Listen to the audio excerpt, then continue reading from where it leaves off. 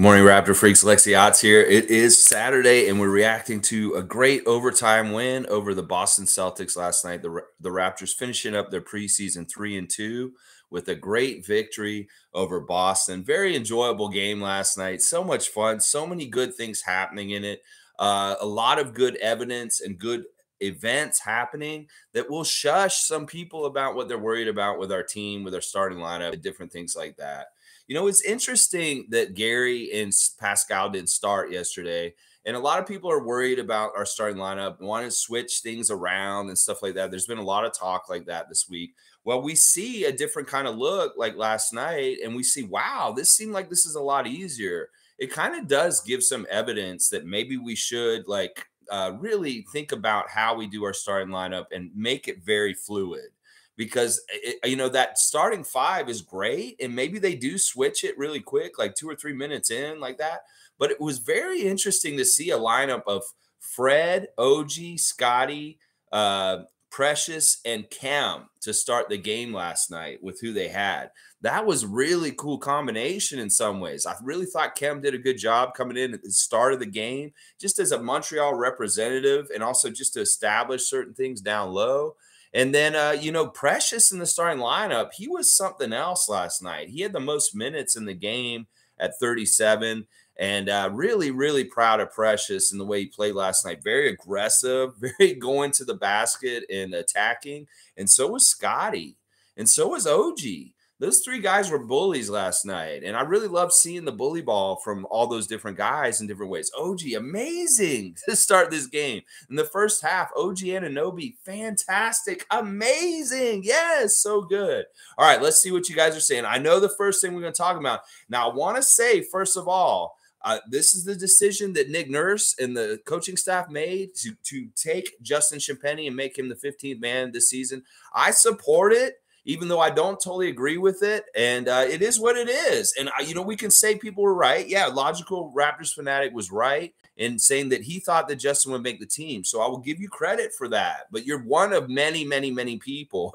you're not the only person that was saying this. In fact, I want to give Allison, who was on Confederacy of Dunks, big props for saying it also and her hoping that he would make it because I know she emotionally was tied to it, that she really, really wanted him to make it. So I'm happy for Allison that uh, Justin made the team for her and stuff like that. So it's not that you know it's you know we all had varied opinions on it, and I I was looking at it from a certain standpoint with needs and stuff like that, and I don't necessarily agree with this decision still, guys. But at some point yesterday, uh, DJ Wilson fell out of consideration to be on the team. I'm not sure exactly why, but that was decided before the game even started because he did not even play. So he was out of it uh, before the game even started. And you could tell, seeing his face in the game at different times and stuff like that, he knew that he wasn't going to make the team. Now, just because Justin was playing so much in the game early did not necessarily mean to me that he was going to make it for sure, but it did mean that in the end. I was thinking, well, they just didn't see him a whole lot in preseason. They're going to overplay him in this last game of the preseason, partly because of that. And I think that was part of things with that is that they needed to get him more time and things like that. He looked okay. I was happy with a lot of things that he did. Uh, you know, he did have two air balls when he shot both his threes, and he did blow a couple of defensive assignments where they which led to easy baskets for the other team. But late in the game, in the second half, he played really, really good dogged defense on some of the smaller guards on the other side like Pritchard and Grant Williams and different people like that. And that was what I really, really liked about what Justin Champagnie did last night is that he played really good guard defense. And that is something that maybe if you look at our roster, that we need that a little bit more. So, okay, this makes sense for that. Plus, obviously, he's a better fit because of culture, because he's such a good friendship with Delano and Scottie. And uh, he has more time in our system, just like you guys have been saying, that he's got more time invested in him, in our system in different ways and stuff like that. It's worked out in a nice way because you know he's there and he's good for uh, you know these guys that that you know like Delano and Scottie. So it, I just don't want him to fuck anything up with this team with chemistry because of his shenanigans outside the court. That is my biggest problem with Justin, y'all. Is that I see what he does around the team as being a possible thing that lights up a dumpster fire. And I don't want that. So I'm happy for you, Justin, that you're on the team. You overcame things like not being able to play all summer and being injured, and you still made the team. I'm very happy about that. In some ways, that was an underdog kind of thing to do. But I'm warning you, you fuck up this team's chemistry with your bullshit around the, the interviews and different things like that. I'm going to be pissed at you. So I'm going to watch out for that. But you go ahead and have a good year. And uh, I hope that you continue to grow as a Raptor and do very well and do good things for our team. But don't fuck up our chemistry with some stupid ass ego shit, is what I'm going to say, Justin. Yeah. All right. There we go. All right. Tom Duke is saying winning, winning. That's right. That's what it's all about in Montreal. And that the fans brought it right last night. The, it was electric, sold out, and just good, good energy supporting the team. There was a good percentage of Boston fans in the building also last night.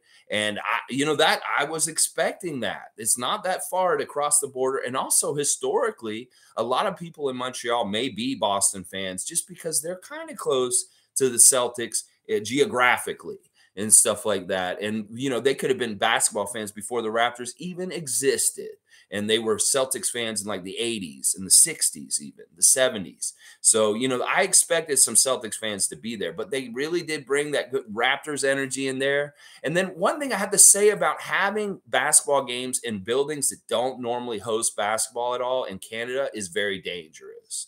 This is a hockey building. This is where the Canadiens play. This is a hockey building that's not used to having hardwood on it. And the problem is that the people that take care of the ice get a president. They are the person that's most important because there's no other sports normally being played in there. So they really crank that uh, cold up and keep that water there. So if it heats up because the basketball, the court gets wet. And that is part of the reason why we saw people slipping and sliding all over the place. And that is very, very dangerous. I don't like necessarily the Canada series for this purpose, this reason is that game in Edmonton, the game in Montreal last night could have been very dangerous for the players because the people that control the building that take care of the ice and the floor conversions are not as savvy to switch it to basketball and make it completely safe. And that we've seen at times in recent years places that double as hockey rinks are dangerous for basketball players to play on. And that was definitely the case last night. Matt, Marcus Smart got hurt because of that on the floor with wetness. We saw people slipping and sliding in a couple different places, and that is very dangerous. So, NBA, if you're going to go to other arenas, the, the people in those arenas that take care of the ice, they need to fix it and make it safer. We have a way of doing it here in Toronto where this is not a problem with our conversions. They need to be able to do that too, because it would be really awful if there was some sort of bad injury for somebody we care about. I'm not talking about Marcus Smart, uh, because of the floor wetness and stuff like that. This is something I always worry about when we go to places that don't normally host basketball, that uh, a hockey arena. That this is very common. This happens. All right, logical's here. Freak, freak Thompson. I have to say, you were right, Mike.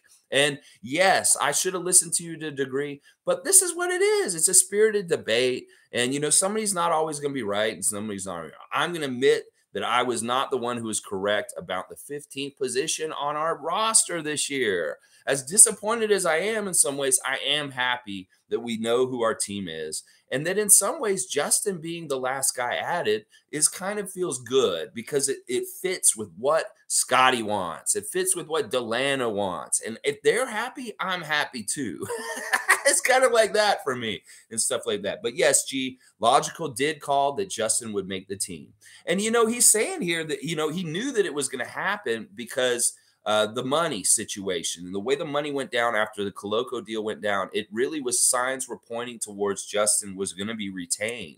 And Logical could see through the lines and stuff like that. So I'm going to give you credit for uh, looking at the co- contracts and the money situation and deducing that Justin would be the one that would kept. Very astute stuff, Logical Raptors Fanatic. And check out Logical Ra- Raptors Fanatics channel. Always good content. Supposed to have a two part series coming out soon uh, this weekend, hopefully, and stuff like that. Yeah. So it really was since the uh, Koloko signing that Logical saw it. And then he said, You can tell from the extension series and the rotations video on who was going to be on the team, but I didn't want to drive that option hard ultimately it wouldn't have mattered in time. T minus 10 minutes. Yeah, listen, I appreciate you coming to this channel regularly and stuff like that. And I have to admit, you were right when we made this argument over the last week or so that Justin's uh, you know, time accrued with the team was more valuable and just different things about the culture and being a teammate with the other guys and stuff like that. That was part of the factors. Because it's really weird how they said it about DJ. They said he just wasn't under consideration anymore further. And that was before the game. He would have played in the game if he was still being considered. So he had been xed out and out of the picture already before they even took to the court in Montreal and stuff like that. Uh, Isaac Campbell said Scottie's defensive IQ was on full display. You know, Scottie just moved so much better uh, last night. He had a great day yesterday. He had a bunch of different great things happen. His new Google Pixel commercial came out yesterday and it's fantastic. I love it. It really is a love letter to our city and the country of Canada saying that he this is his new home. Have you guys seen this Google Pixel commercial with Scottie Barnes in it yet? It is amazing. In fact, they managed to get Cheese Magic in the video in the commercial. It's an awesome store in Kensington Market. All my friends at Cheese Magic, go to Cheese Magic where the cheese is magic. Seriously, you go there, you bite it, mm, it's like magic. It tastes so good. So Cheese Magic in Kensington Market is in the commercial for Scottie Barnes uh, on Google Pixel. And he's talking about when he first came here, he didn't know what to expect, but he was embraced. And now this is his home and stuff like he means this. Y'all, this is not pandering. This is not a weird thing that he made was forced to say this, the gun to his head. He wanted to say this stuff because this is the same stuff he's been saying on Twitch all summer that you know people ask him all summer it's like where are you scottie? Are you in florida? Are you in canada? He said i'm in toronto. I'm home. He said he was home all summer and that was at toronto here baby here in town with his dog cardi. This is home for scottie is what he said and he means it. This is real like he is taking to us. This he wants to be a raptor. He may end up being like fred where he says i want to be a raptor for life and he's already saying stuff like toronto is his home and he means it. This is what he said all summer. Trust me, we know from the Twitch crew that he's been saying that all summer long. Uh, cool Cat's here. Good morning, Raptor Freak crew. Good morning, Cool Cat. Good to see you. Uh, salute to you, Logical Raptor Freak. I really do appreciate you. Uh, Tom Duke is saying, uh, okay, it jumped way ahead. This is interesting. Oh, wow. You guys are filling it up today, just like we filled it up in the net last night. I love it. Um, uh, uh, Tom Duke saying morning freaks. Woohoo, let's go. Good morning, Tom Duke. Good to see you, my friend. Uh, G said, I said it before on here that Pascal and OG are a bit awkward together. They clog the paint on each other. However, once Pascal nails his threes, it will open the floor. I love both it really was cool to see OG once again kind of picking up from the little bits of growth that he showed last year before he would get hurt. And like that New York game last year, uh, different times where he had like 30 points and stuff. He did, he would look like that same guy again last night. Very overpowering, very slow and kind of deliberate with his moves, but very effective. In fact, that first basket he made when he kind of came around the swing and he kind of just strode to, to the basket and laid it in, I was like, man, he's he seems like he's going slow, but nobody's getting in his way. And then being four for four from three early on in the game, OG was just fantastic. I mean, he looked like a real number one superstar for a team. 13 for 21 from the field, four or five in the end of the game, but he was four for four at the half. Uh, six rebounds, two blocks, 32 points. He was a plus one. OG was fantastic last night. In fact, he's my first star for the game last night. Number one star for the night, OG Anunoby, because he really did take control of being, he was the best player on the court. If you had to look at a battle between OG, uh, Jayson Tatum, and Jaylen Brown, OG was the best player between the three of them in the game last night. And that is awesome to see that we lose Pascal, but there's OG to pop up with a new Hydra head and take care of being the man for us. And they really didn't realize they had to do that. And they stood up and took it, Scottie and OG. You know, no Gary, no Pascal, no problem. We just got other people that will come and carry the water. And this is something we got to realize this season. Nick said it again in a couple of interviews this this this week that uh, different people are going to rise up and have huge games on different nights. This was very much the case last year, guys. We remember this. You know, Pascal wasn't always the end all be all leading scorer each night, night in, night out. Some nights Gary was, some nights Fred was, some nights OG was, some nights Scottie will be. So we got to remember this when we're looking at stats after the game, like we were we're doing now, is that it's a collective. It's not just an individual night by night performance. That some guys are going to be having a bad night, but if we have guys that are like stepping up and carrying the water, making sure we fill up that bucket to get to the right line so we win. That's what all that matters. We just need that next man up mentality when guys are out and when guys are not able to produce in the game, that somebody else will step up and make something happen for the team. And now our energy and all kinds of different things was way better and very different than other games in this preseason. There were a couple of things that we did that were very, very effective. In fact, we were quite stifling to the Celtics in different ways last night that we haven't ever been in the past. And that really is partly because of Christian Koloko. In fact, last night he showed another whole level of kind of like dominance and different things that he can do out there that is going to be very scary for the rest of the league. In fact, if I was a Celtics fan and I watched the game last night, I would be like, oh shit, the Raptors have this Koloko guy now, and this isn't good for us that the, the Raptors have Koloko. What? They're already so annoying. Why do they have to have a seven foot one guy that can block shots and be all over the place like that now? This isn't fair. If I was a Celtic fan, I would be starting to think this like, oh my gosh. It's so crazy. And the way this game went down with Jayson Tatum getting tossed in the third quarter. The the the, the rookie coach for their side, Mazzulla, get not knowing how to handle that situation and getting a tech himself. You know, th- I'm telling you, him being a rookie coach is going to hurt Boston all year. They're not going to get the same kind of respect. They're going to have weird shit happen. Because, like, that's listen, that's a golden boy. That's somebody that, on the unwritten rules of the NBA, they're not supposed to get fouled out because people pay money to come see them, like LeBron. So it's very interesting that Giannis threw out Jayson Tatum in the third quarter. Normally, they would not do that kind of stuff. Now, maybe because it is preseason and this game doesn't count, and they're like maybe trying to show in good faith that they do do this kind of stuff. That a superstar just can't be an asshole on the court and talk shit the whole game and not get thrown out, like Draymond last year in some games. Yeah, Draymond should have been thrown out of some games, but they let him keep talking. Well, Jayson Tatum just waved off Giannis just like this, and he had already gotten a technical. Well, he was thrown out at that point, and everybody was shocked in that moment. Everybody was kind of like, "What? You're going to throw Jayson Tatum out now?" It was confusing, like because it doesn't seem like that's something the NBA would do marketing wise that they would throw out Jayson Tatum out of the game. Well, they did. And I was like, yeah, you go, Giannis.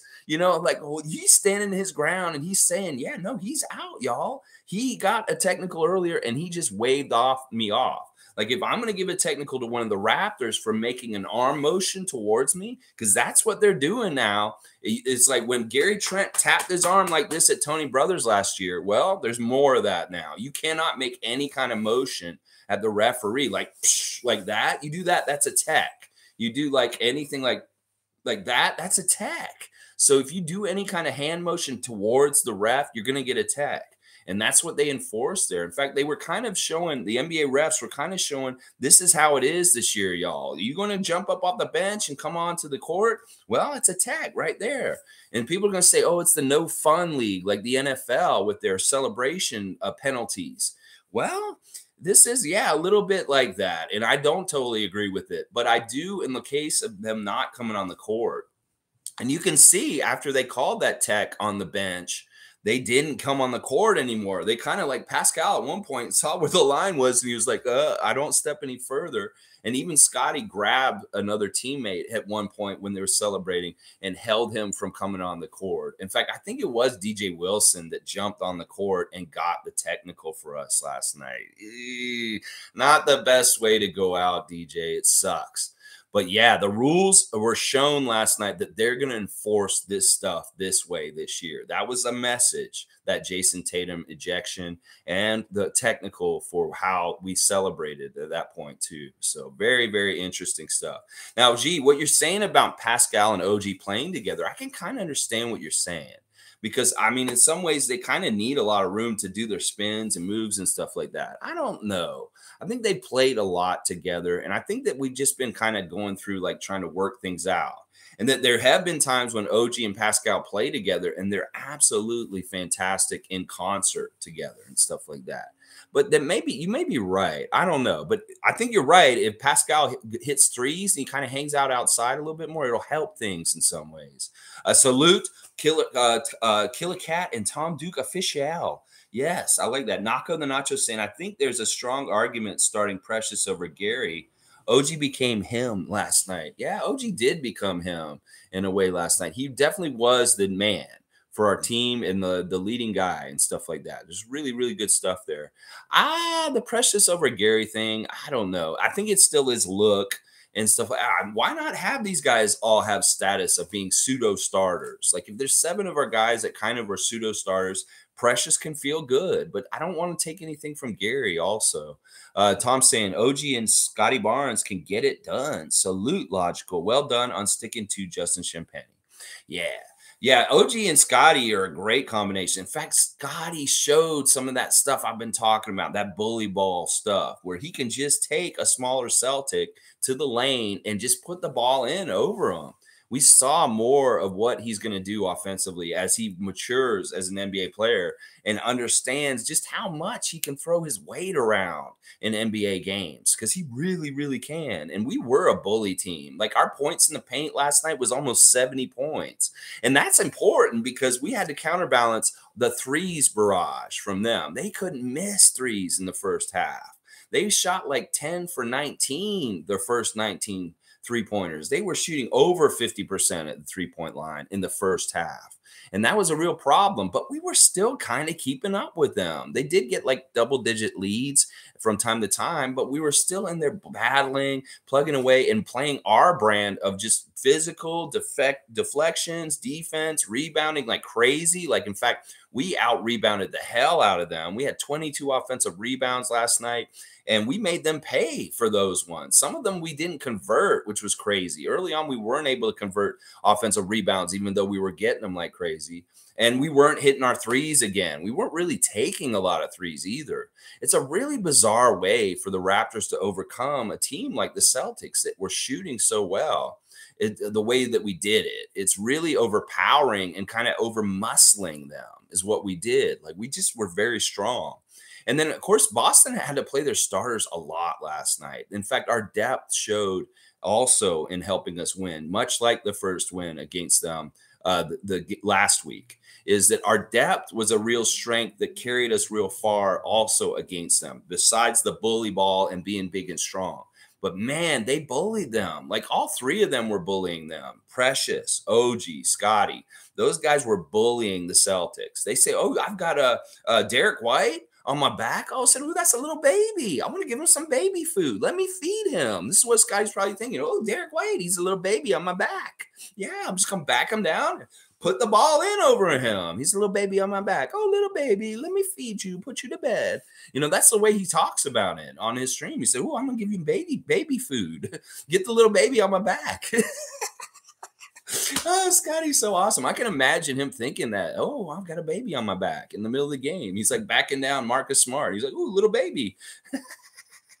it's so awesome. Uh, all right, let's see. Um, uh, Tom Duke saying OG and uh, okay, yeah, we already heard that. Um, Cowboy saying, "Let's go, go, let's go, Bradley." Good game last night. So much fun to watch entertaining, high scoring. Montreal got their money's worth, all kinds of great highlights and dunks and just fun stuff. They got the little sampler platter like you would get at a restaurant of appetizers, of little things from that you enjoy about the NBA, and they got it all. They got overtime, they got drama, they got a, an ejection, they got all kinds of interesting like uh, plays off of people. Some really beautiful Scottie Barnes stuff, Koloko stuff, OG stuff. Yeah, just a really great fun game. Like if I was at that game last night, I'd feel like I got my money's worth to see like 130 to 130 game against Boston and the Raptors. Oh, so good. Good morning, Monique, super fan Monique. So happy, such a glorious day for Monique and everybody. Uh, Tom Duke saying, just glad we know our squad and know the freaks will support it. That's right. No matter what, even if I disagree with their decision, it's their decision. They know the best. I trust in Nick Nurse. And I trust in Justin Champagnie to really give his best effort, get out there and get in the fight and be a dog at there. There were his good attributes on display last night. And I appreciate that.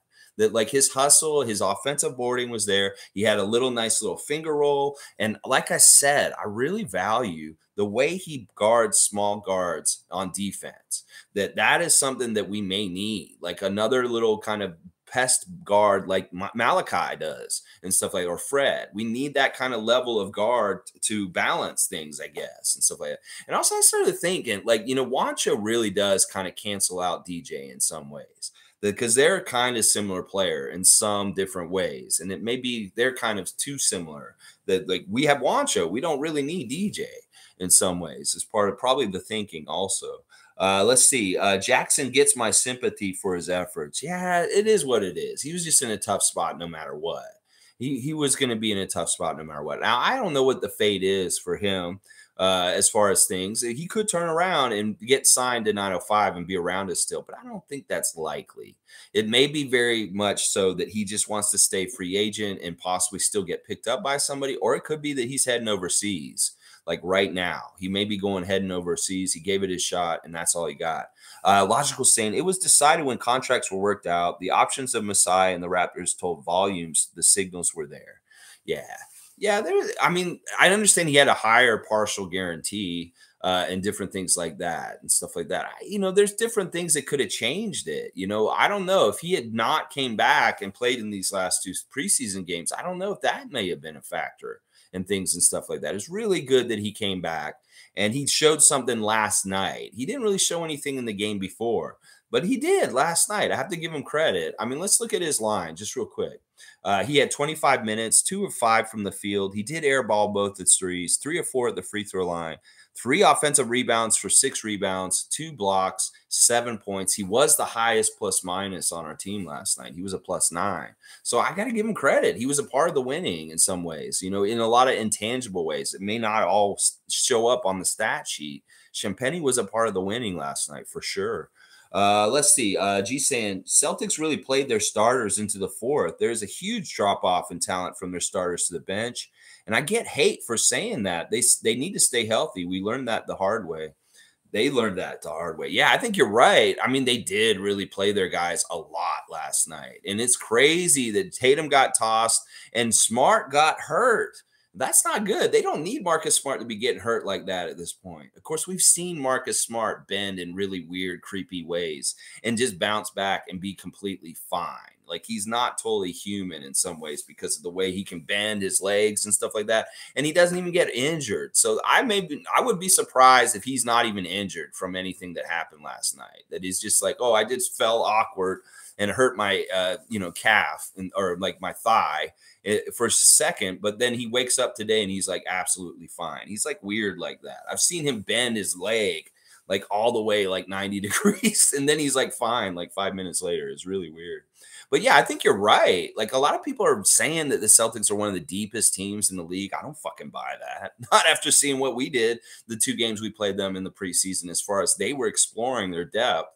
You know, like the Hauser and Pritchard combo last night was not effective. We absolutely shut them down and made them look like ordinary players and not like these three point specialists that in the first game that we saw them. Hauser was one for eight, one of seven at the three point line. We found him way, way better than in the first preseason game. And then Pritchard was 0 for 5. He missed all four of his threes.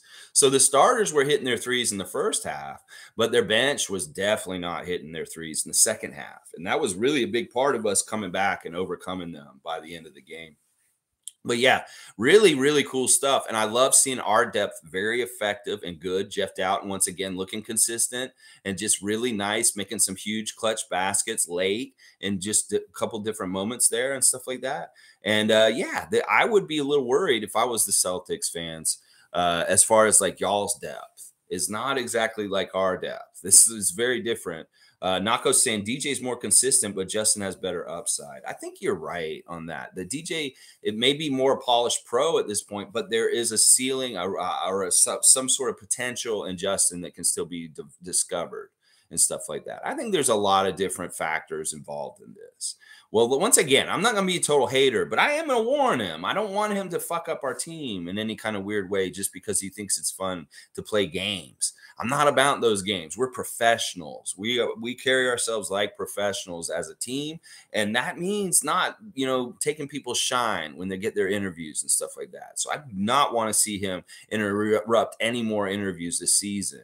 If he does it, he's going to do it. I'm not going to like it. And I will talk shit about it because it's like, it's not right. Like, if Jeff Dowtin is the star of the game and he gets the interview and they're talking to him, I do not want to see him come anywhere near him. if he does, I'm to be pissed and stuff like that you know um, and plus i don't i don't think it was a good look that justin was bullying dj during this whole process also on Instagram. He'd take pictures of him and like write captions and like make fun of him and stuff. That's not a good look. I don't like that kind of shit. Now, Justin has said, I'm going to be me and I'm just going to be me and that's who I am and stuff. I can't be anybody else other than who I am, is what he said on Instagram. And I can respect that. But just try and maybe cut out like the the bullying and stuff like that. As we said on this channel, you don't have a lot of weight to throw around on this team to just act like oh you can sun people and stuff like that. On my my pecking order, you're very much down near the bottom with Ron Harper Jr. In fact, I think Jeff Dowtin Jr. is above you on the pecking order as far as things, the way I look at it. So, yeah, have some perspective and respect for your teammates, and let's not sun them during live interviews this this year. I know some people are fans of that, but I'm not. I'm old school. That is fucking uh, rude and it has no place in the in the league. I, even if people think it's funny and stuff like that, it's kind of like this guy who jumps in on the camera when the lady reporters and says something vulgar and stuff like that. That's the same kind of behavior and stuff like that. Uh, all right, let's keep going. Um, uh, cool Cat is saying, "Congrats to Justin. Happy for him. I was scared that DJ Wilson would take the spot. The investment in Justin's going to pay off. I hope so. I really do. Like over time, I hope that he kind of um, you know, gets better and better. Really want him to be more consistent with hitting his threes. That'll be the biggest way he can help us because obviously we need more better threes. So, Justin, make your threes, and I'll like you even more and more as time goes on. Uh, G saying, I hope they can keep Gabe and Josh on the 905. Yeah, well, Gabe will be there for sure. Uh, but I don't know about Josh Jackson. He's at a crossroads in his career in basketball. He has to figure out whether he wants to, you know, do the 905 route at this point in his uh, young career, or because he's already kind of had to do 905 at different times, I'm sure. So stuff like that. Nameless is here. Good morning, Nameless. Uh, DJ, I feel so bad for him. G saying, yeah, I do and I don't. I mean, listen, other teams have given up on him and stuff like that. It may be that the Raptors were like, well, which one of the guys will come back and bite us in the ass the worst if we cut them? Well, Justin might. So maybe they're like, we're scared. We don't want to cut Justin because we know he might get pissed at us and take it out on us later. Well, will DJ do that? No, he won't. We're not worried about him doing it to us later. That, that may have been part of the thinking too. It's like, I don't think DJ Wilson may be in the league this year after this. And that's too bad it really is kind of sad kind of thing where it's like oh, this may be your career and stuff like that. It's so many years in, and this is where you're at now. Uh, Evelyn's saying, "Yeah, I agree to uh, you 100%, Tom Duke. I enjoy watching our team. Let's go Raptors. Let's go, Granny Evelyn. We love you, Granny Evelyn. Oh, a true Raptor freak. Good morning, Raptor freaks. Cowboys saying it again. Uh, Tom Duke saying, Nameless is hilarious. Just saying, cheers, Evelyn, and hope you are doing great. Bam, Nameless uh, yes, a lot of agreement here, a lot of ups and uh, good stuff going on there. Uh, logical saying, and no doubt, I'm still a nobody, but I understand what we're doing picture wise. Justin has that big brother edge and pride, and will never give up. Uh, sunning people is athlete stuff, bro. Yeah, but it has no place in in interviews. Do it in in practices. Do it in the the locker room. Do it in you know fun stuff like when you're on the plane and shit like that. Don't do it on fucking live TV when there's a young person like Ron Harper Jr. who may not get very many interviews like that in his career and it's on national TV on ESPN. It's just a really bad look. And for a person like me, it really makes me hate the guy. Like I hate people like that that are arrogant and just kind of jump in and kind of take people's shine when they deserve it. It's very much like Jimmy Kimmel at the Emmys when he laid down on the floor and ruined that woman's eh, speech just because he felt like being a clown. That's why I don't like it. You, you can go ahead and sign people, but just don't do it on live TV, is what I'm going to say right now. Uh, G, GMA is saying there was definitely a lot of Quebec Boston fans. At times they got really loud when uh, uh, Boston scored. Were you at the game, GMA? Cool. I'd love to hear more about uh, actually being in the atmosphere of the game and stuff like that. Uh, cool Cat saying Celtics really risked keeping their starters in late with our third bench players. Yeah, that's what some people were saying. Why is Marcus Smart even out there to be allowed to get hurt like he did when he did his little splits? and stuff like that. He may have been, they should have pulled him out of the game already by then and stuff like that. Nameless is saying, I'm so confused about DJ. You know what I think it is? And this is what I'll say. And I feel bad for him. I think that he may not just have that killer instinct in him, that he, you know, he was a good talent, good size, a lot of good skills and stuff like that. But maybe he's just like he's missing stuff that Justin really has, which is a real like desire, real like, oh, go get it kind of stuff. He's fundamentally good and stuff like that, but he maybe he's missing an edge, is what I'm saying. And that may have been part of the factoring in and stuff like that. That maybe he doesn't, I don't know. I don't want to put any labels on him or anything like that. But I think that's part of it is that he's maybe too mild mannered in a couple of different ways, and that may have hurt things. Uh, Tom Duke saying, uh, "Is Boston sports in the house?" I doubt it. Yeah, I wonder where Boston sports has been after these two preseason games where we beat Boston in overtime both times. What fantastic stuff. It's so cool to get extra time to beat Boston some more. yes. And I love that, you know, Celtics fans stayed up a little extra late to just to see their team lose anyway and stuff like that. Salute Mo and Nameless from Logical Raptors Fanatic. Uh, morning. Uh, Tom Duke saying, Yeah, Lex, those guys were brutal at cleaning the court. Grant Williams had to do it.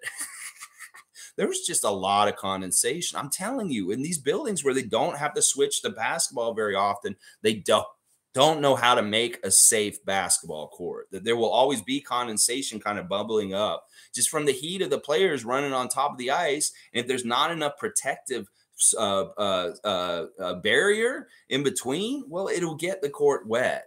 And that's very dangerous. They had to call a 905 game last year because of this issue that the court was just too wet. They couldn't play at that time and they had to get it like dried off. Yeah, it was funny to see Grant Williams do that. I thought that was kind of cool to see him out there doing that.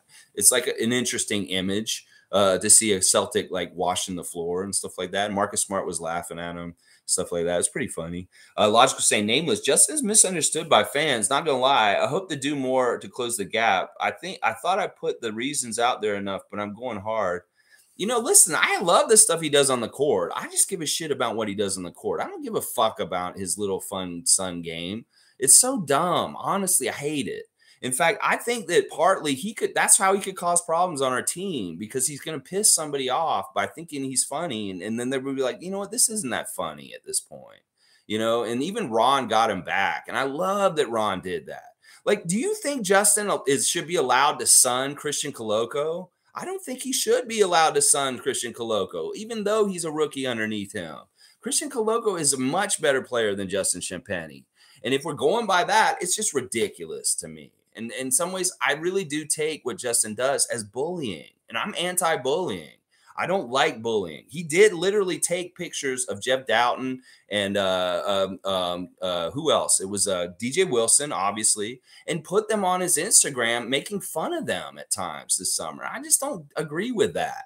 You know, you should be classier than that, Justin. You just fucking cut out all the extra shit. Work hard, play well, and I'll like you more because there's just a lot of extraneous shit and stuff like that. This isn't baller life. This isn't culture for basketball. This is fucking idiot shit. It, it's not like, oh, this is just culture in today's basketball. Fuck that shit. Because there's some problems with today's basketball with kids throwing basketballs off each other's faces from doing stupid shit like this. It's just not necessary. I will argue this till I'm blue in the face about the sunning stuff. It's so dumb.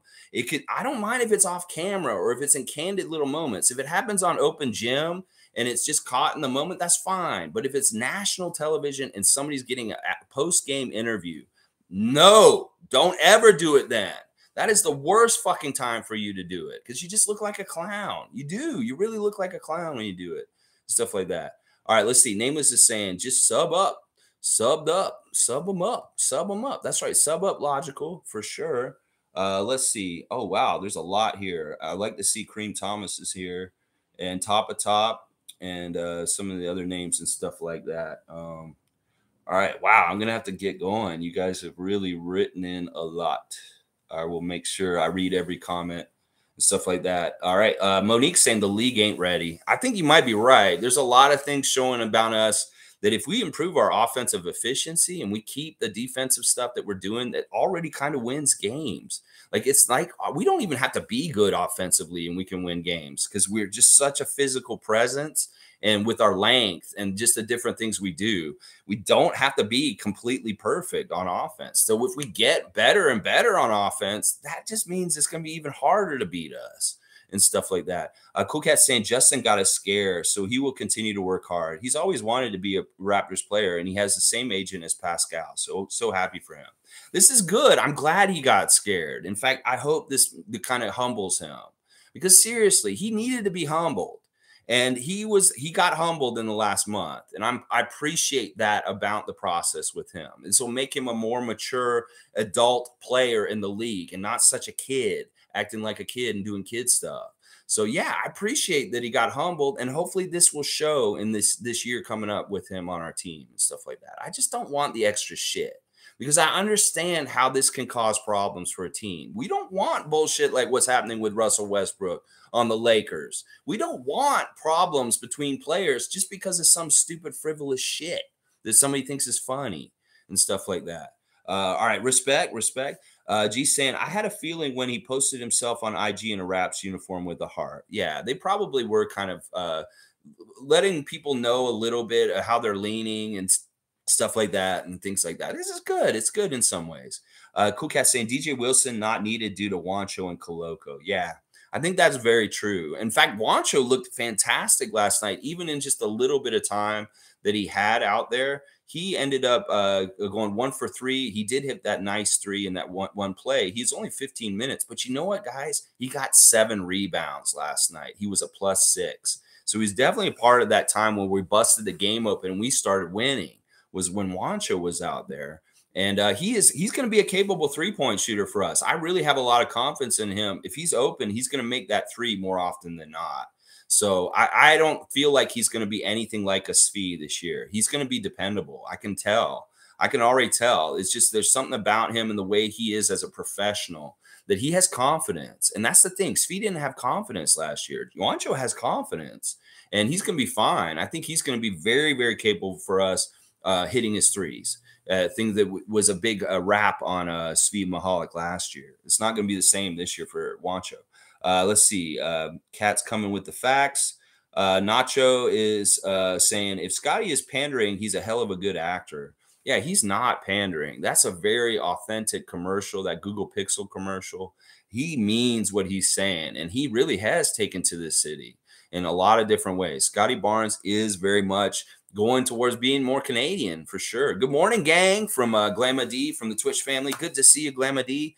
Uh, uh, Cowboy saying that dunk by Precious was fire. There were a few dunks last night that were absolutely crazy. Like Koloko's dunk in transition was badass. Just look at how much ground he can cover in like two strides. It's crazy. I thought he almost traveled on that play, but they were like, let him go. He took like a step and it took him two steps from the free throw line and just like wow crazy dunk and it was really nasty and i love it christian's going to be so good guys like they already are kind of like this guy got drafted in the second round how the fuck did that happen? How did he get drafted in the second round? He should have been drafted in the first round. Christian Koloko, that's for sure. But yeah, Precious, ferocious Achiuwa at the game again last night just attacking the rim like he does. And like, oh my gosh, when he gets up there and he's just so nasty.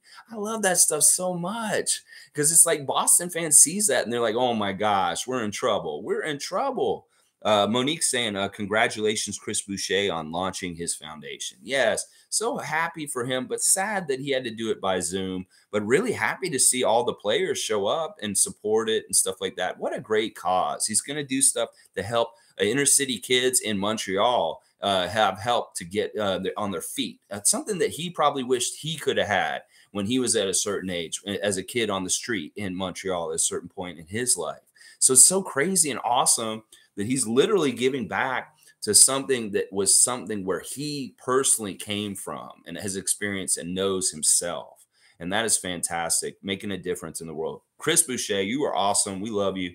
Uh, Tom Duke saying OG and Scottie is a great one-two bully punch. They really are like a punch punch.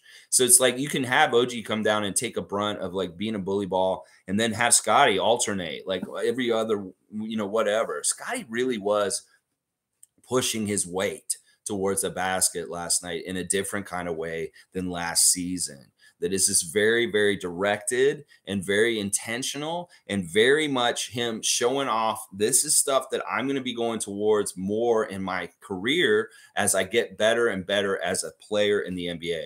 As I get more comfortable, as I really get reps and really understand. And I love that he's got all kinds of different moves. There's no like signature move. In fact, at one point last night, he did a little baby hook like Kareem would do, and he kept the defender off of him with by using his off uh, his off shoulder from his shooting arm.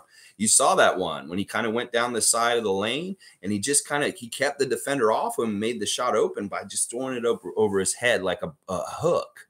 And that is a really, really good sign of stuff to come that he can get space between his defender by using his broad shoulders and throwing it up over like this. If he does more of that, him and Koloko can do those all day because he's got enough strength to push a guy off and get room. And nobody's going to block that little hook uh, on the side there. Now, Koloko is a whole other different thing as far as the height uh, that he can have a release point to put the ball into the basket. Nobody's going to be get up there and trying to block him or stop him. So he gets really good with little one-handed hooks, little spin hooks around in the paint.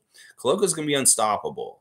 Like they're not going to be able to stop him from making it if he gets really good with his touch. And he has good touch for a big man already. So we know he has it. He's going to take reps and shooting more and more and more. And then Koloko's going to have unstoppable little hooks. And Scottie too. We, we saw Scottie do it last night. It was really cool. Bully Ball Barnes, Mr. 94 feet with the bully ball. Yes, I love it.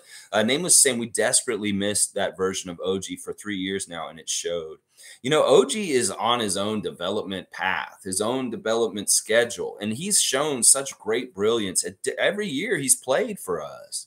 It's just been different ways and different measures, maybe more on the defensive end being a lock maybe more in this way. Oh, all of a sudden he's hitting threes now. You know, he's grown as a player so much, and that we saw the indications that he could be this dude last year. Well, he showed it even more powerfully last night than even the ones that he did last year. There's another level that he's grown into.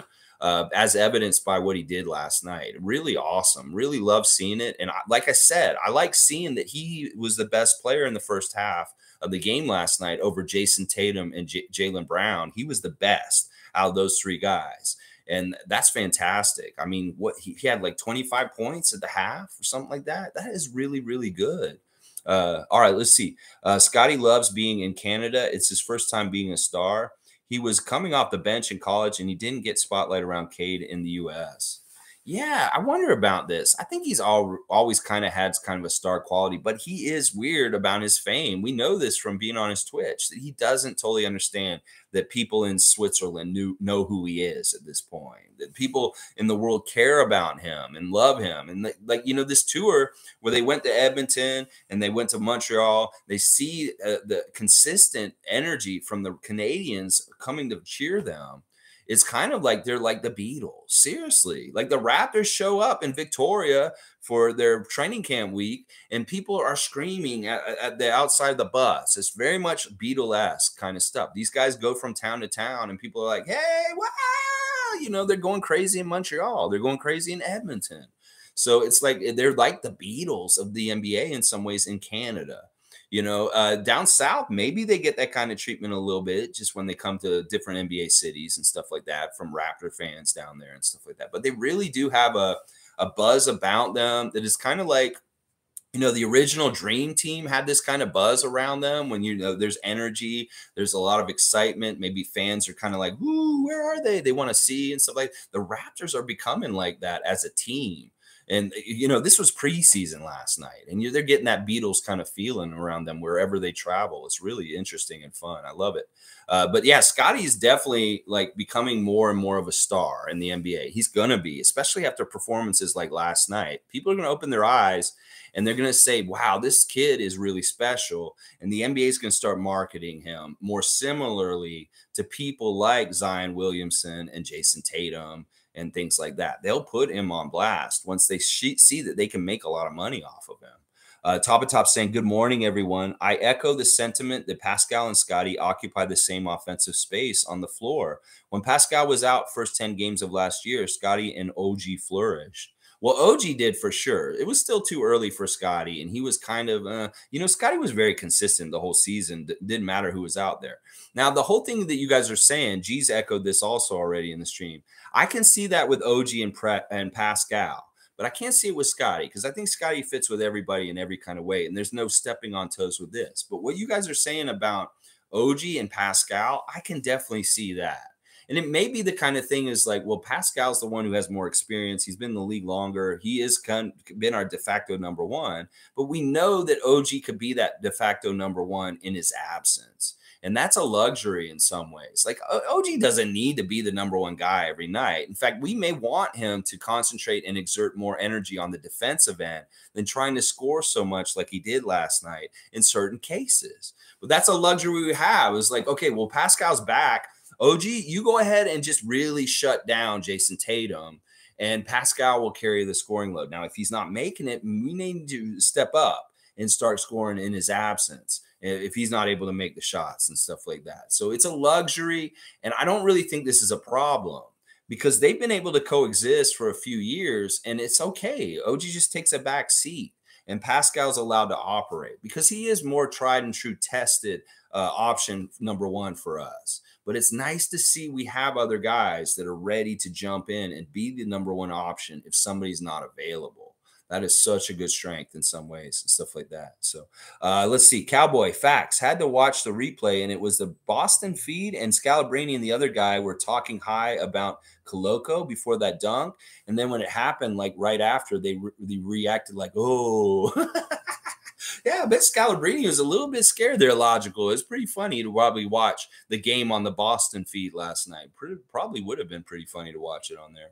Uh, Nako Scottie, OG, Koloko, Precious were our best players. My three stars were OG number one, Scottie number two, and Koloko number three. Koloko was just, uh, you know, he didn't have like a super great uh, stat line 17 minutes uh, 12 points. He was a plus eight. He did foul out, guys. He had six fouls. And he even said after the game, I needed to learn to not foul so much. He's what he said in the interview last night. We called this, we knew this was going to happen. Uh, only two blocks, uh, one steal, four rebounds, but he was a perfect six for six from the field. And that's very impressive that he made all of his shots. No bunnies missed. Six for six from the field, 12 points. Fantastic stuff by Koloko. I love it. Gee, I see that you got it right there. Uh, no, no, no, no, no, no. Yeah. Uh, let's see. Nameless is saying this version of OG could be the X factor for our season. Of course. Well, he's always been there like this. This is the thing we got to realize. It's going to be night in, night out. Different people are going to pour different amounts of water into the game to help us win. And then it won't be consistent each game. There are going to be nights where Pascal's going to have a dud. There's going to be nights where Fred has a dud. There's going to be nights when OG has a dub, but then turn around and see Precious step up or see Pascal step up at that point, a different time. You know, that's what I'm saying. We need to just temper our expectations. I said this last year. Look, think about the W. That's the only stat that needs to matter. We don't care about who's averaging what points, what rebounds, what assists. We don't care how many minutes. We don't care who shot the bet, shat the bed, who played really well, as long as we win. I don't care. It could be so ugly. The other team could make 50% of their threes, and we have to grind and win by making more two pointers, by just getting more possessions, by steals and deflections and offensive rebounds. And it can be ugly as fuck like that, but I don't care as long as this is the ultimate result. And that's the thing. We can get real nitpicky and look at everybody's stat lines and really, really come down on them. But there's no reason if we won. Now, if we lose, I will look at it and pick it apart like an autopsy and kind of try and look and see where there were areas where we could have improved. But when we're winning, I'm not going to hear like nitpickiness about maybe somebody had one shitty game and everybody else played pretty good.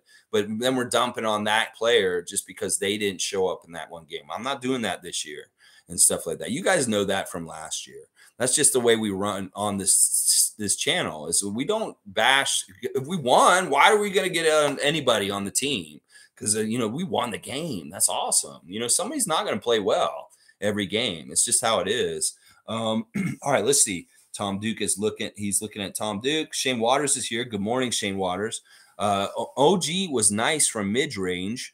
Uh, bench has the chemistry already, even with missing pieces. Solid effort last night. Go Raptors. Yeah, we haven't even seen Otto Porter do anything yet with us yet. That's going to be another interesting addition as we go along and stuff like that. There's a lot of interesting, really fun things about this team. I want us to get Cleveland on Wednesday and kick the shit out of them right away. Yeah, let's beat them. And uh, Cowboys very happy about Koloko as he's on his fantasy team. And Koloko is looking really sharp. He's going to get you some stats and stuff like that. He's going to get to play too. Like he's really looking like he's, you know, he's just something totally different than what we've had on our team for years now. Really, I don't even think we've had anybody like him since like maybe Keon Clark. Like he really is a different level kind of defender as far as a shot blocker. And he makes everybody think twice anywhere near the basket. So Boston really was stifled by him when he was out on the court. So I really love the way he plays, and he's going to get minutes because, first of all, he has the motor and he doesn't get tired. He can run up and down the court, which is different than most big men. A young big man usually can't play a super amount of minutes because they of their conditioning and getting tired and not being able to keep up the pace. Well, Koloko can do that.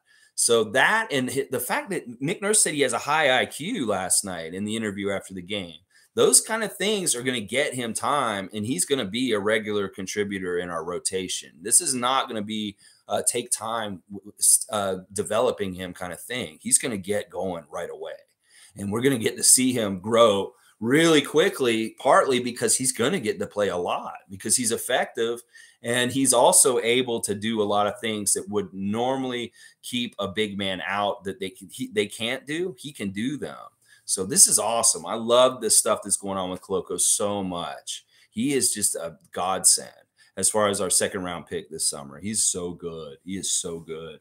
Uh, all right, let's see. Koloko. Uh, all right, let's see. Uh, cool Cat saying Fred VanVleet did a good job moving the ball. Floor manager, seven assists. He fed Koloko a lot. Seeing Kyle Style and Fred VanVleet was happy to see his change to let other guys shine. You know, Fred did something interesting last night a couple times that I really like, and he can do this because Koloko's there.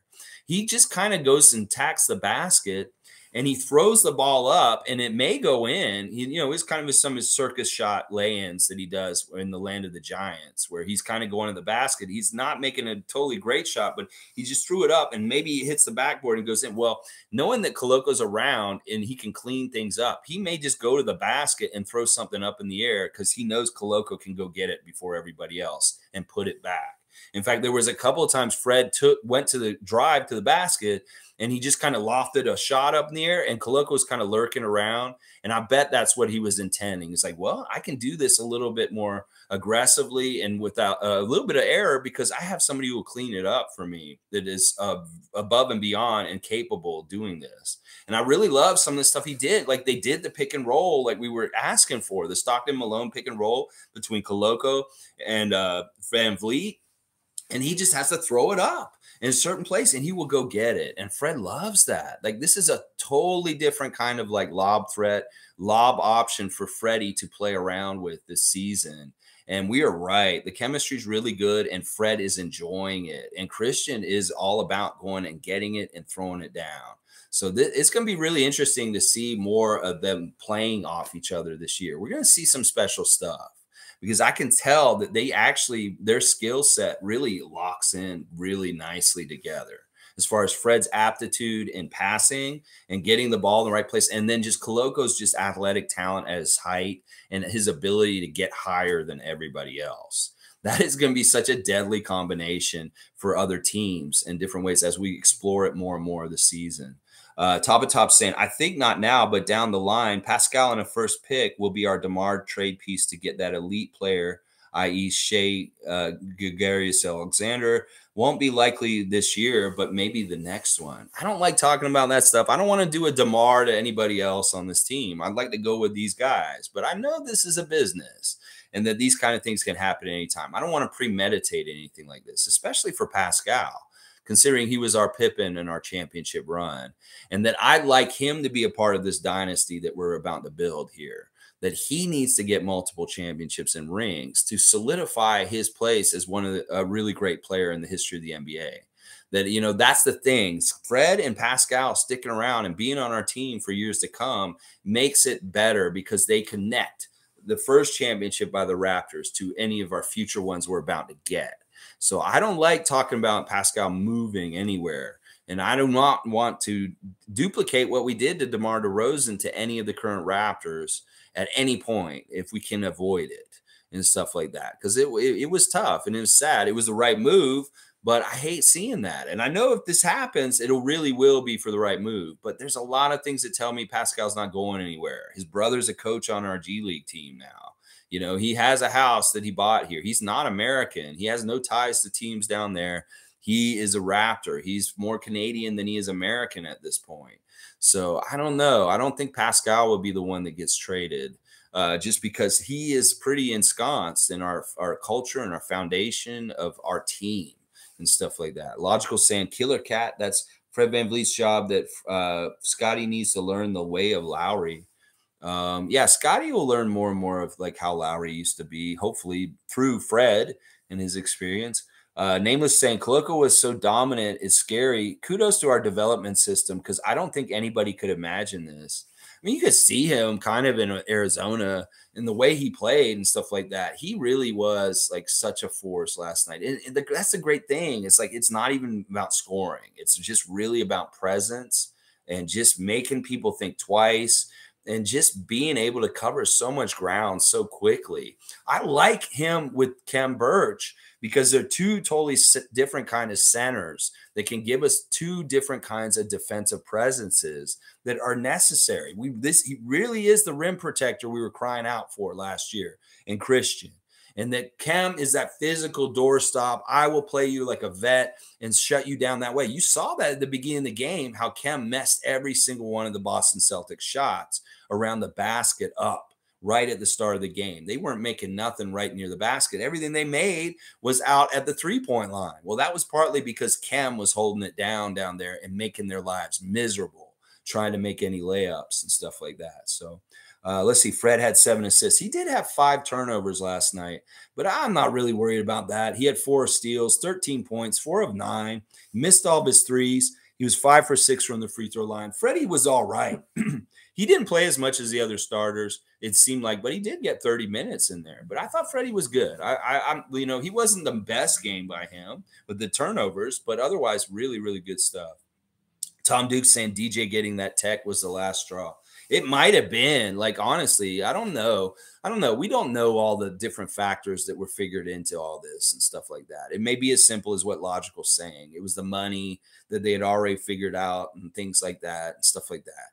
And that, you know, Logical saying that it was a real long shot for obviously for Josh Jackson to make this team. That was a long shot. I thought DJ had a better, a little bit better of a shot in some ways, but it may be very much true that in a lot of ways they really were on the outside looking in and that justin just had a, a kind of like not totally guaranteed but said you know listen we're looking out for you we understand you're hurt and you can't play right now but you know we, we will keep you in consideration still and stuff like that it really was how much he was missing activities this this summer that made me kind of think, yeah, well, if he's not available, then why would we play him? Well, he made himself available. He got available by the end of the preseason and he showed something. So he got the spot. Good for him. This is good. This is good. It's like the guys are going to be happy about this. I know Delano and Scottie are very happy about this for sure.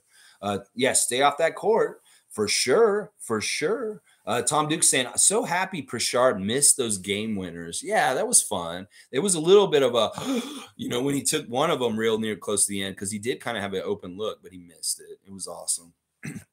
Uh, Top of Top saying Koloko was amazing. He made Tatum rush a three and changed many shots at the net. He also gave Fred a big man target when he got stuck on the drive to the net. He moves well without the ball. Yeah, that's what I'm saying. That I think Fred can feel more daring to try and go into the land of the Giants when he has the most giant giant on his side. You know, because if he throws it up there, who's going to get it first? It's going to be Koloko because his arms are just uh, above everybody else's and stuff like that. Uh, great point by G. Seven apples for uh, Fred VanVleet. Seven dishes and dimes. Yeah. Uh, Monique saying Channing Frye with his negative comments toward us, as always, shaking my head. Yeah, there's a lot of people speculating who's going to be the eight teams in the playoffs for the East, and we're getting left out. I think that's hilarious. How do y'all think that we're going to get left out of the playoffs this year? Y'all are crazy NBA experts that think the Raptors are not going to make the playoffs this year. Well, okay, let's see what happens. We're going to see that by the end of the year for sure. Uh, cool Cat saying with Fred Van VanVleet taking a step back, OG will get more shot opportunities. Yeah, I think so. I mean, they were definitely going through him, and like he was aggressive. I like that he was aggressive, and he was mixing it up. It was wasn't just him driving the basket. There was a little bit of post up. There's a little bit slash in the basket. There was a little bit of three pointers. You know, there was a mixed bag of different things that OG does well, all coming together and being shown in the game last night, and being very super efficient. Like the fact that he scored so much so early is very much efficiency, like him not missing and him doing everything right in really kind of different ways. And like he showed a little bit of everything. He showed that his speed could beat somebody, he showed that his strength could beat somebody and stuff like that. I really love what I saw from OG last night. Uh, Nameless is saying, I knew he'd be great, Cowboy, but he's looking like a lottery pick. He really is. Like Koloko should not have been drafted when we drafted him. Once again, Masai and Bobby had pulled a fast one on the NBA and gotten a gem real late. That they just are the best scouts in the league. And that, you know, who the fuck? Why didn't somebody take Koloko before this? People are probably seeing Koloko now and they're like, wow, we could have used this guy on our team. What were we doing? We had the 20th pick in the draft. Wow, he went in the 30th, something. Oh my gosh. It's probably how a lot of people are talking right now about Christian Koloko and what he's looking like and stuff like that. Uh, Logical saying the Boston broadcast was giving Fred Van VanVleet his flowers calling him one of the greatest undrafted players ever and mentioned Ben Wallace in the same breath. Yes, yes. Thank you, Boston announcers, for giving some shine to Fred, uh, somebody who should be talked about in the same breath as Ben Wallace and Moses Malone, undrafted greats in the NBA history and stuff like that. Yeah, good stuff. I love to hear that they're giving some respect to Freddie. Uh, Canadian Cowboys saying, We're getting a ring this year. Get your finger sized. Get your sized finger so you can figure out how big that championship ring should be at the end of the year. That second Toronto Raptors NBA championship ring, 2023 champions, Toronto Raptors. I'll say it over and over again all year because the more I say it, the more it will come into reality is really how you can make your destiny is say it and put it into reality. Say it over and over again. Don't be afraid to. Toronto Raptors 2023 NBA champions. Don't be afraid to say that. Say it to yourself every morning when you wake up. Toronto Raptors 2023 NBA champions. The more we put it out there in the words, in the echoes, and the vibrations of the world, the more likely it'll bounce into happening in real life because we spoke of it many, many times and stuff like that. That's what I'm saying. Sometimes you can do that in your life. You can pre visualize, you can pre speak, and things will happen in good ways. Uh, G saying, I saw some fans hating on Fred. Feel like he can't win with some fans. Seven assists is really good and still three, 13 points to boot. Well, this is the behavior I'm talking about that we don't really want to do here. I could get harping on him for five turnovers, but what's the point? We won. We were awesome. And he did do good things for us last night and stuff like that. He was a floor leader. He did a lot of good stuff. Some of these guys that are just going to carry the ball out are going to get turnovers. You look at the other side for them, and the Celtics have bad turnovers with their main guys. We got three turnovers by Tatum, four turnovers by Smart, six turnovers by White. Uh, you know, oh, wait, uh, four turnovers by Smart, five turnovers by Brown, no turnovers by White, sorry, uh, but four turnovers by Grant Williams. So lots of turnovers for the Celtics on the other side. We forced them and they turned into points and stuff like that. That's really good. Um, all right, let's keep going. Kareem Thomas, good morning. Good to see you, Rapid Free Kareem Thomas. Gary needs to be a starter. Not that I agree, but if we want to keep his trade value a premium, it's better he starts. Yeah, I don't want to do it just for that reason. I want to do it because he's a great player and that he is actually something that adds something to our team. So, eh, you know, there, you know, there's we need more stuff like what Gary Trent Jr. gives to the Raptors. So it's not smart to talk about taking him out of the starting lineup because he really is one of our best shooters. And, you know, even though he didn't play last night, you know, he adds so much good stuff. So I, I like him starting. And also, we got to remember this was part of the problems he had in Portland was being jerked around between the starting lineup and not being the starting lineup. We don't want to do that to him. He doesn't deserve that. He's done so many good things for us, and it'll pay off in the long run if we stick with Gary and let Gary still be who he's supposed to be on our team and stuff like that. But I don't want to do it for trade value. I know a lot of people are saying he's probably likely a guy that we would trade if we do make a big deal this this year, stuff like that. Uh, Monique's just praying for OG to stay healthy this season. To be honest, yeah, I think OG will be all right. I mean, he looked really, really strong. There's people like going in and out of my door. I don't know what's going on outside. Um, all right, let's see. G saying, "Oh yes, no Pascal and OG will work it out and be amazing. Good problem to have." Yeah, this is a great problem. If the, you know they're duplicitous, if we like, what, what, they so many different guys could do so many different things and stuff like that. Well, Pascal's a little bit more uh, seasoned with carrying the load night in, night out, being the man and stuff like that. He just has way more experience, more consistency in it, and it maybe that OG steps up and he carries the load on more often nights in certain nights and stuff like that going forward and stuff like that. It is a great problem to have. Tom Duke and G for sure. Having so much talent and so many different guys that could step up in different times. This is a glut of talent in so many good different ways. So logical saying OG was showing what the Masai wants last night. Kawhi scoring. Yeah, him and Scottie. I mean, Scottie really to me looks like Kawhi on some of the plays and moves he does. He just looks so much Kawhi. When he has his back to basket and he's in the low post, that is Kawhi shit that he's doing. He'll bump him and then just go over with his giant hand and just hit the hit the basket like easy shots. And he was really really effective around the basket last night. Scottie was hitting a lot of good stuff and finishing and stuff like that. I really like what he did. 10 for 10, 50% shooting. He it was 2 for 6 from the three-point line, but I like that he made two of those threes and they were kind of dare daring him to shoot the threes and he nailed them. Uh, uh, two of the six and then three for three at the free throw line. The Raptors shot really well at the free throw line last night for the first half and most of the game. And then in the fourth quarter, they shot the bed at the free throw line and ruined their percentage because they were shooting like 90% at the free throw line for most of the game. And then they, they had a bunch of misses late and went down to 78%. But I'm really proud of Precious Achiuwa in particular, who got to the line 13 times last night. That is a lot of free throws, and he made 10 out of 13. I'm he was a horrible free throw shooter last year. And Precious and Delano were the two guys I was like, these guys got to shoot better free throws.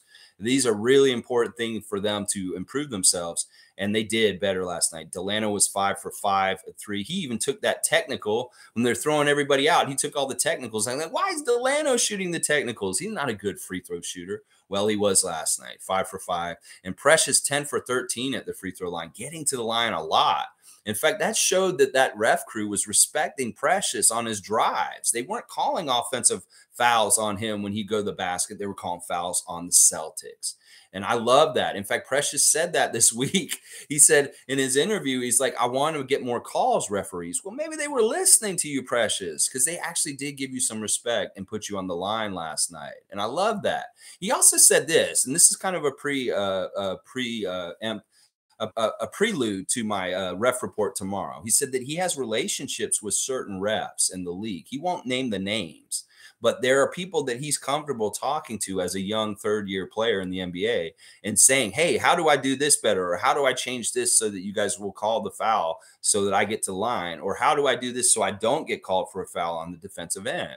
And he has ref friends is basically what it seemed like with Precious. Say, yeah, there's a couple refs that are, uh, I can talk to that, that help me out and stuff like that. So it really is a relational kind of thing. And it could be that one of the refs last night is one of those guys that it, like Precious has a, a, a conversation with. He's already cool with because they were putting him on the line a lot last night. I wish Pascal got the line as much as Precious was getting the line last night. He was really, and maybe because he was being aggressive and he was doing it the right way and stuff like that. But I really love that those two guys in particular were making their free throws last night, Delano and Precious. That's a big improvement from last year because they didn't. They they would miss like 50% of their free throws all the time.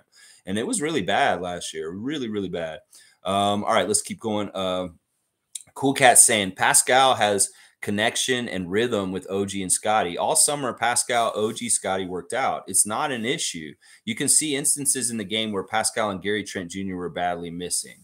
Yeah, there were times where we could have used those guys, but that is just the the you know how many guys did we have out last night? We had Boucher out, we had Pascal out, we had Gary Trent, we had Otto Porter out, we had Malachi out. There's five guys. Five of the 20 guys that we had suited up last night were not available to play. And, you know, we weathered that fine. We just played the team that was in the Eastern Conference in the finals for the Eastern Conference, the Boston Celtics. That's a big deal that we played supposedly the best team in the East two times in preseason and we played their starters a majority of the time. That's the thing too. They played their their important players way more in the two series, the two games that we played against them. In fact, they were playing their starters against our end of the bench last night at a certain point. It was Jeff Dowtin versus uh, Marcus Smart all of a sudden. They still had their dudes out and we were still beating them. I love that so much. That is so awesome. That is the Celtics. They were in the finals. We handled them very nicely, very, very nicely. And I love seeing it. Uh, Kareem saying, I know Koloko may lack mass, but we need to find him in and out of the starting lineup, depending on the matchup, spaces the floor tremendously. Yes, yes, I'm all for this, Kareem. And you know what? It look, it may we may be able to cover up his lankiness with the overall size of our lineup, with the six nine vision, with having so many other big dudes. Like if he's playing center and he's got Cam and uh, uh, Precious next to him, that is okay. He's got beef next to him that can make up for the beef that he doesn't necessarily have you know, Thad, you know, have all these different big dudes out there with him. They can cover up some of that stuff and he can still do all the other things he does so effectively and awesomely and stuff like that. Yeah, I agree with this. I want to see more and more of him, especially if he's super effective. He's not causing problems and he's staying on the court without foul trouble. Play Koloko as much as you can, Nick. Play him, play him, discover more is what I'm saying. Uh, let's see. Uh, cool Cat saying rookie is showing why he's an NCAA champion and a Pac-12 Defensive Player of the Year. He definitely alters shots. That rim protection is awesome. I know it's not like this dude was unknown. He was at a huge school, Arizona, and he was put on blast. Everybody knew he was. He's a defensive player of the year. They could go watch his highlights. They could go see him. Why the fuck did he fall out of the first round to us in the second round? I'm going to keep talking about this. And not that I'm upset about it. In fact, I'm giddy about it. It's just it's so weird that like how did he not get drafted in the first round? Are people that bad at scouting players? Like seriously, this dude, like forget about the other guys that we talked about center wise, Gate, and all these different people we talked about this summer and stuff like that. We are looking at all kinds of centers. We got the right one, baby. I mean, this is the right one. Like Ismael Kamagate, I don't know what he's gonna fucking do right now. Kofi Kingston, I don't know what the fuck he's gonna do right now. I ain't hearing nothing about them. We got the right one. It's Christian Koloko. Yeah, we got the right center. And we were looking at all those guys and like wondering about them, stuff like that. It's amazing. It's so awesome. Uh, G saying, serious question. How did the league let us get Cologne? I know this is what I'm asking myself. It's like G, G and I are very similar in mind. We think alike in a lot of ways. And he's like, how the fuck did they, they they're going to be saying this in years to come. They're like, how the fuck did we let the Raptors get him? Ah, yes, yes. Uh, Taba Top saying, I like Jackson's ability to stack the, attack the net from the three point line. Champagnie is a bit of a duplication offensive rebounder of what we already have. You know, I yeah, I agree with this, but also, you know, it is true. DJ Wilson kind of was a duplication of other things that we had on the team. And I was just thinking, oh, if we're going six nine vision, let's really go six nine vision and have DJ Wilson. Well, I think one of the things that we've seen in preseason is the Raptors have an Achilles heel when it comes to smaller guards messing us up in some ways uh, with their offense. That maybe we don't have enough capable guard defenders. And this may be really a big reason why we went towards Champagnie is that he is really quite good at guarding small guards and people around that area uh, on uh, uh, uh of as far as position and we didn't have enough capable small guard defenders. And I think that may be on the down low one of the biggest reasons why we kept Justin. And we saw in the second half last night against the starters for the Celtics that he was doing a good job running around with people like uh, Grant Williams and Derrick White and Marcus Smart. So that's that's kind of what I think it is. I mean, the offensive rebounding is fantastic. The energy and the, the doggedness in him, the get after everything is absolutely fantastic and a prerequisite to be on our team. So he fits in that way. But I really do think it was his ability to do some defensive things to smaller players on the other team that may have been the little bit even more that put him over the top as far as like being the one we kept for uh, the season, stuff like that. So yeah, I think. Uh, all right, let's see. Monique saying Koloko over everything, literally over everything, because he's seven foot one. And he's just over everything. He's just over everyone, just height wise. I mean, if they stand them all in a row and they put and say, put your hands up as high as you can, he's going to be the one who's over everyone because his wingspan and his height is just up there. It's way up there. Oh my gosh. Uh, cool, cool Cat saying, I still prefer Precious and Boucher coming off the bench together. They have a synergy, and Boucher would help stop Precious from sulking when his sh- shot's not going down. That bad habit needs to stop. I don't see Precious do that too much. The thing that's bugging me right now is Scottie's real chatty with the refs. And I worry about that, especially since the refs are kind of showing that they're hair trigger to give you text and do different things right now because they want to set the tone for this season. Scottie's been talking to the refs a lot the last couple games. And maybe some of it is he's trying to carve out respect with them to get and ones and get to the line. And I agree with that. That's a good thing. But we once again, we talked about this earlier this week. We don't want the guys to get caught up in not getting calls and turning and talking to the refs when they need to be getting back to their defensive assignment and stuff like that. That happened with Precious and Scottie and a couple times in the last week. And uh, we don't want that to continue to happen. The sulking, as you put it, about not getting a call or something like that. I don't think Precious Precious is way more happy go lucky on the court these days as far as things. I don't see him upset or very down or very like discouraged or anything. He seems like he's very strong and happy and very positive, just his energy. Now, Scottie, at times, I could see him get a little like uh, upset and kind of like sulking or uh, not sulking, but like kind of like pissed off and getting his head out of the game a little bit by the refs and them not calling stuff like that. But I do like to see him get going and standing and talking to a referee like Nate Green and getting more information from them and learning from the referees. This is the smartest thing that young players that just came in the NBA can do is get a rapport, get a relationship with these referees early and maybe they'll show you favor over time because like, oh, that's Scottie. He works hard. What a good young kid. What a great young kid in this league. He's the kind of superstar we want more of in this NBA. So maybe that's the kind of way you get favor is by establishing those friendships or not friendships, but just relationships with those referees. So maybe that's what Scottie's doing right now, talking to them. But he does kind of like looking at him, I can tell he's pissed when he's talking to them.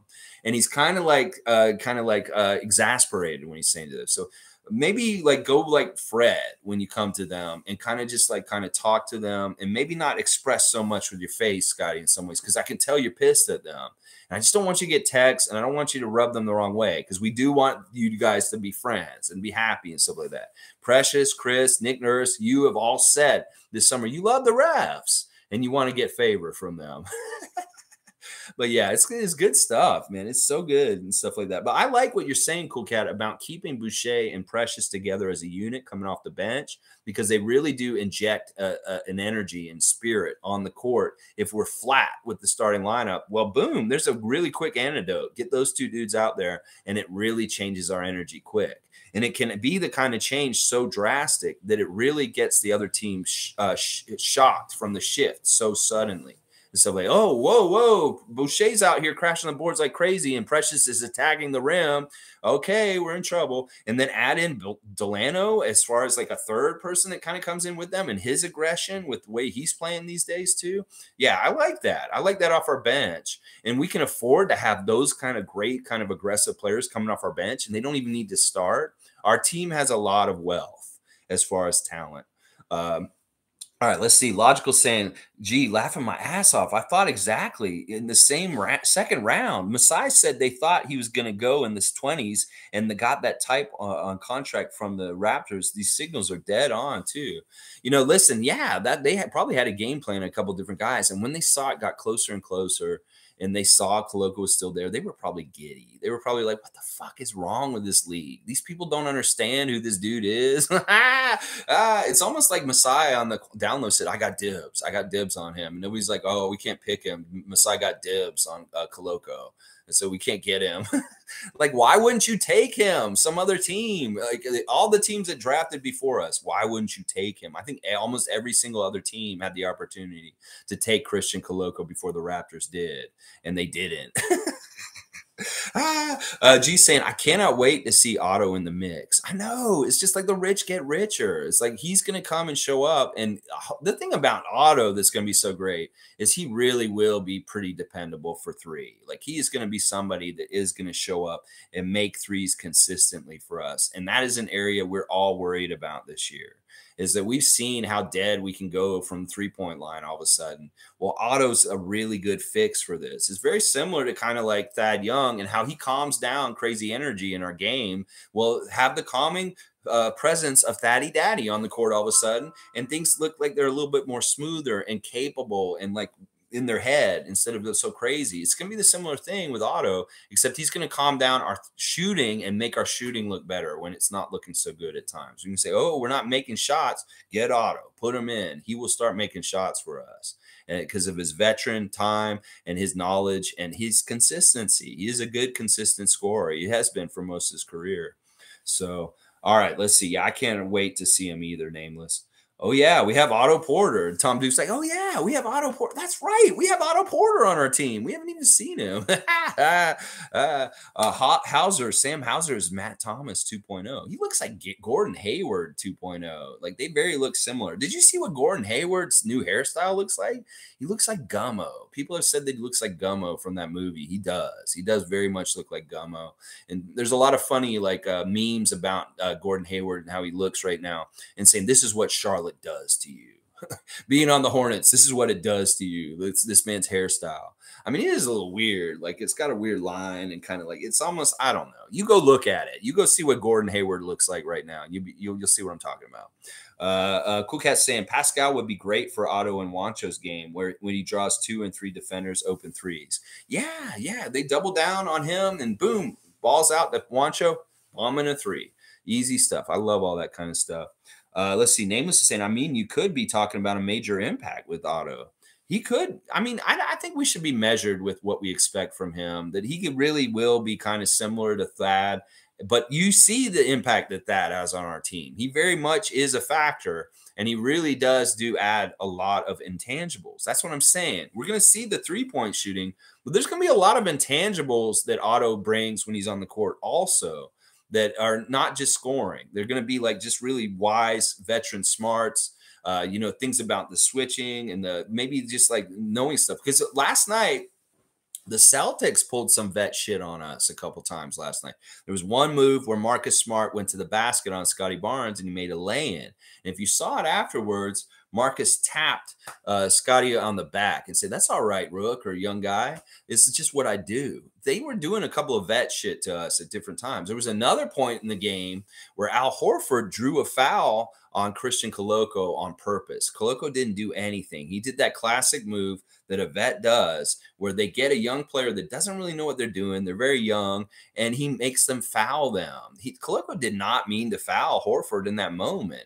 Horford came to him and made him foul him and put him on the line that he knew that they needed some points at that point, and he knew it was a rookie, and he's Al Horford. He's been in the league for so long, so he knows how to do that little move where he can get into uh, Koloko's body, and the referee will call a foul on Koloko, and Koloko protests. I didn't do anything. I didn't do it. You, you're right. You didn't do anything. Al Horford did a vet move on you and got free throws by exploiting you being a rookie and not having experience. So that's kind of stuff that happens between vets and younger players. Then Marcus Smart will make a basket lay on uh, on on Scottie Barnes and then turn around and say, "Well, I'm just a vet, bro. It's, uh, you'll grow up some more, youngster, and you'll know how to deal with that and stuff like Al Horford drawing a foul on Christian Koloko. Well, we're going to get that kind of intangibles from Otto Porter that kind of vet savvy and those kind of things. He could be the kind of guy that draws a rookie into a crazy foul on him like Al Horford did to Christian Koloko last night. So that's kind of part of what I'm saying with Otto Porter, Thad Young, their, their presence on our team will add to that kind of stuff for our team, stuff like that. So, all right, let me see. It jumped way ahead. Let me see what you guys are saying. I know there's a lot to say. It was a great game last night. And I'm so happy to have so many great Raptor freaks here with me today, uh, talking about this stuff. All right, Alistair saying, wow, that they really cut DJ after all that. Yeah, they did, Alistair. It's just a part of the business. It's the road, it's the way it is, and stuff like that. After all the the three 10 day contracts last year, after all the trying to make the team this year, it just didn't happen. It's not meant to be the DJ Wilson's uh, Raptor full time and stuff like that. He has had his time with us, and now it's over. And it, it is what it is stuff like that. Logical saying facts, Lex. Not gonna lie, not in the interview, not in interviews.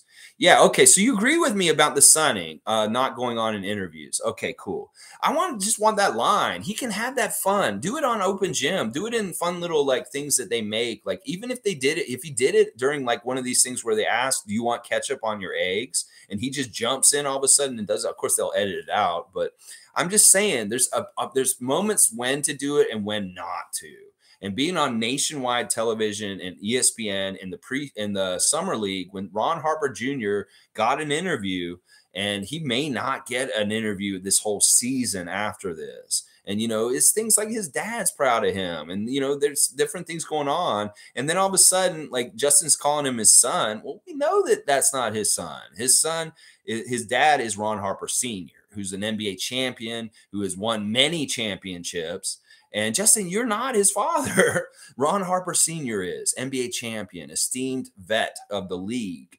And it just looks bad. It's like I understand on our broadcast in Canada, you know, this Canadian audience, Canadian fans know about Justin Sunny thing, but the Americans did not.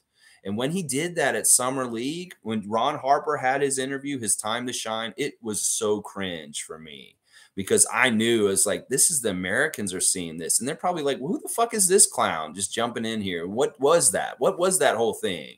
And like Jim Jackson and Ian Eagle or whatever the the, the kid Ian Eagle's son Noah Eagle were like kind of trying to cover it up afterwards. They're kind of trying to say, "Oh, I I guess I don't know what that was" and stuff like that. It was like, yeah, it's just not classy. It's just not classy. Pick your time and place to sun people uh, Justin. It's just better that way. I mean, it's better if you don't do it at all, but if you're going to do it, do that. Hey, guys, listen to this. Alexi is my son, and Justin Champagnie is on the Raptors this year, guys. I'm so happy about my brethren, Justin Champagnie. Justin Bieber is proud of you, Justin Champagnie, and Alexi is my son for thinking that DJ Wilson was going to be on the team. How could you go against Justin like that? The Justins, the Justins are all looking out and watching out, and you better watch out, Alexi. All right. All right. I guess I'll admit it. I'm y'all's son today. I have been sunned by the Justins. I've been sunned by all the Justin supporters and stuff like that. You're right. I was wrong. And I feel bad about it. But also, I'm like, I don't give a shit. I'm happy that the Raptors are winning and we are badasses and stuff like that. Go, Justin Champagnie. I want you to do well. That's what I want. I want to see you do well on the court. That's what I'm saying. Uh, Guardian Transit saying one of the best NBA games I've ever watched last night. And it's preseason. The game was so entertaining. Kudos to OG, Barnes, Chewy, and Banton. Yeah, those were really kind of the stars. I would put Precious in the top three stars, but his shooting percentage was not that good last night. Uh, he shot four for 16. He missed all seven of his threes. He was 10 for 13 at the free throw line, seven, re- uh, eight rebounds, uh, four assists, 18 points. He was a minus 10.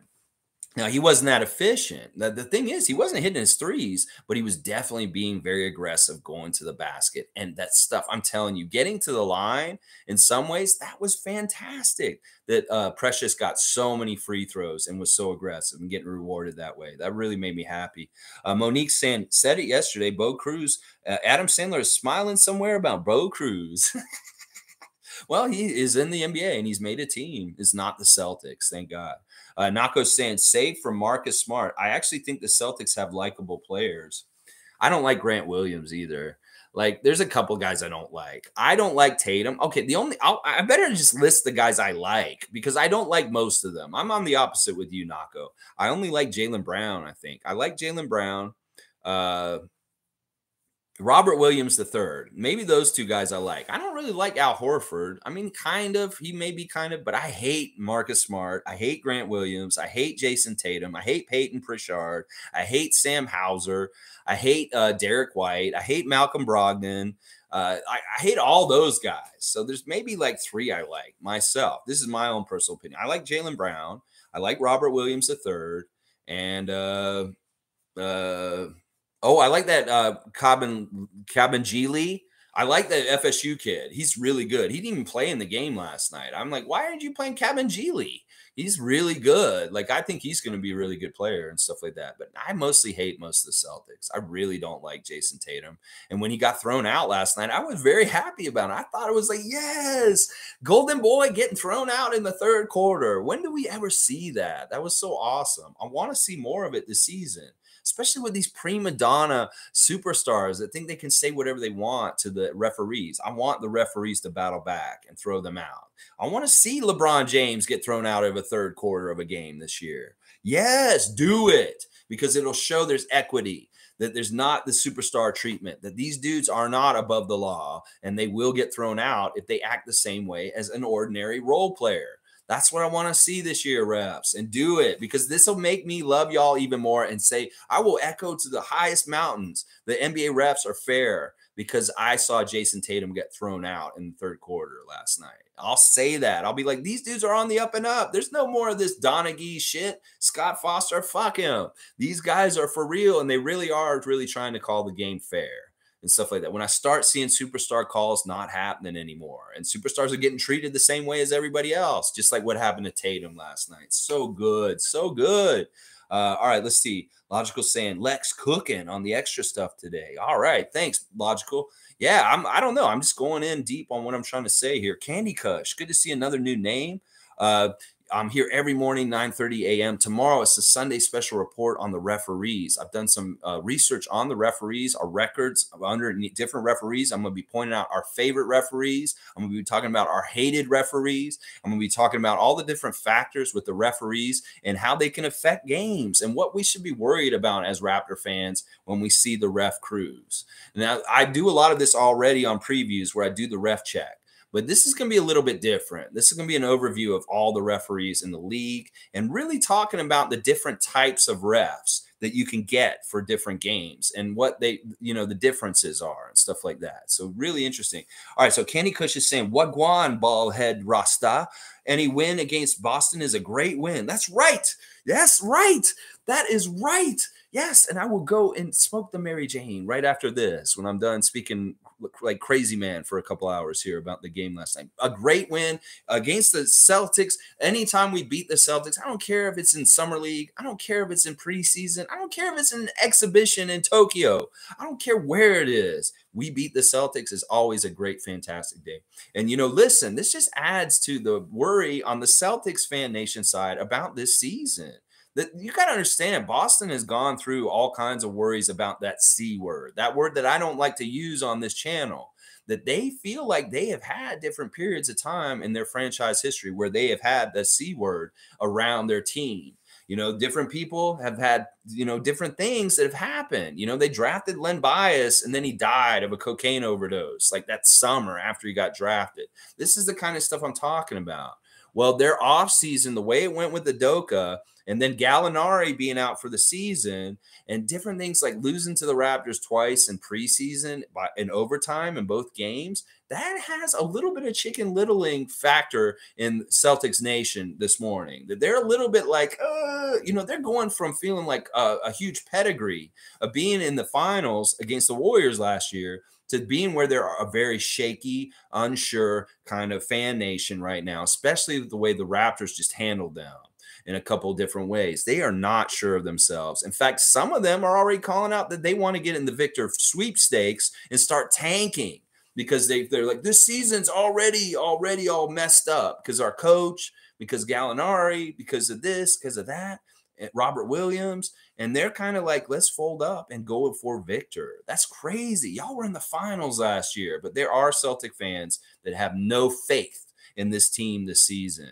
and that they're seeing all these signs and they're saying, oh, this is going to be a bad year. There's a lot of them freaking out right now. A lot of them. Uh, G saying on another note, Lakers lost by 47 to the Kings.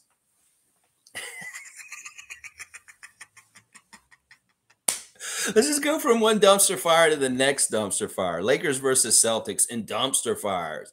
Russell, you are a liar. You're saying I'm a good teammate. I'm very happy being on the Lakers. You are such a liar. And now they put you on the bench. And that happened last night. All right, let me go look at this score that you just brought up. ah, ah. Yeah, they brought him off the bench last night. He only played five minutes. He had five minutes on the court. He didn't score at all. He took two threes. He missed both of them, and he had two turnovers in five minutes. You know what? They need to trade him. They should have traded him this summer. They needed to get Kyrie for him. They should have done something. They got to get Russell out of there. Until he gets out of there, that team is going to be messed up. I doesn't care. I don't care if Patrick Beverley's there trying to mend fences and fix everything between people. As long as Russell is there, that team is all messed up. I mean, we've seen all the clips and stuff like that. This is hilarious. They lost by that much. They have LeBron James and Anthony Davis on their team how if these guys are so great. I mean, LeBron is great. There's no question, but Anthony Davis isn't that great. I'm sorry. Like, all right, he didn't play last night, but that's because he's hurt as usual and stuff like that. But yeah, this is messed up. How does this happen? You just lost to the Kings by 47 points? That is an embarrassment. Laker Nation is just as much screaming and crying, maybe for Victor sweepstakes, just like Boston Nation is right now. Uh, Monique saying, Can we just take a moment for Koloko opening speech in French and then smile? Monique, I am so happy you brought this up, this whole thing about uh, uh, the speeches before the game. They did this in Edmonton. Of course, it was Delano there, but in uh, in uh, up here it, in uh, Montreal, it was uh, uh, Kabengele, right? Kabengele for the Celtics came and spoke because he's from Canada. He's Canadian, and then uh, Cam, uh, Cam, uh, no, Koloko. I thought it would be Khem Birch just because of Montreal, and would have probably been Chris Boucher if he had been there. But it was Christian, Christian who did the pregame speech, and he was fantastic. He had a real charisma. He spoke in French. I think that the people in Montreal really enjoyed that both the representatives from the teams both came up and spoke to French to them. And uh, the Koloko was just really awesome. He did a really good job and and and just really good speaker in that moment. I really enjoyed that it was Koloko that did that and that that beginning of the game thing that they did and stuff like that. Fantastic stuff. Uh, Guardian Transit saying Koloko seven strides. He's all the way down the floor. I know this man is like a woo. He's like he can go far. He can go far real quick. Uh, Tom Duke saying so cool. He seems so polished and he has a huge ceiling. Man, we are really on that Koloko train today. I love it. Uh, Fanatic saying uh, Chris Boucher doesn't fake the funk. When he said he has a platform to help, was the direction he was starting with this contract more. Yeah, now that he's got some money and stuff like that, he can start doing something like his foundation, the Slim Duck Foundation. Fantastic stuff giving back. Uh, G saying uh, no Pascal, Gary, Boucher, and Otto, three, four key pieces. Rap step this year seems fire. Yes. Uh, 11 11. Uh, yeah, I agree. We got really good depth. We're showing it off this preseason. Logical saying, I was so I'm so honored to do a video of his basketball journey. He's such a special person, in my opinion. You're talking about Chris Boucher. Yeah. Yeah, I, I, that's good. That's good content. Uh, Monique saying, with DJ not on the team now, which other teams need him if you had to choose one? I don't know. I don't know if he'll get picked up. I don't know. He's not G League eligible. This is part of the problem is that yeah, maybe he does get picked up by somebody like the Knicks or something like that, just out of the blue or something like that. But there's no guarantees. And at this point, the season starts next week. And everybody's been doing their training camp battles on their own with cutting different people. Like Stanley Johnson got cut by the Utah Jazz yesterday. So he, you know, different people are getting cut.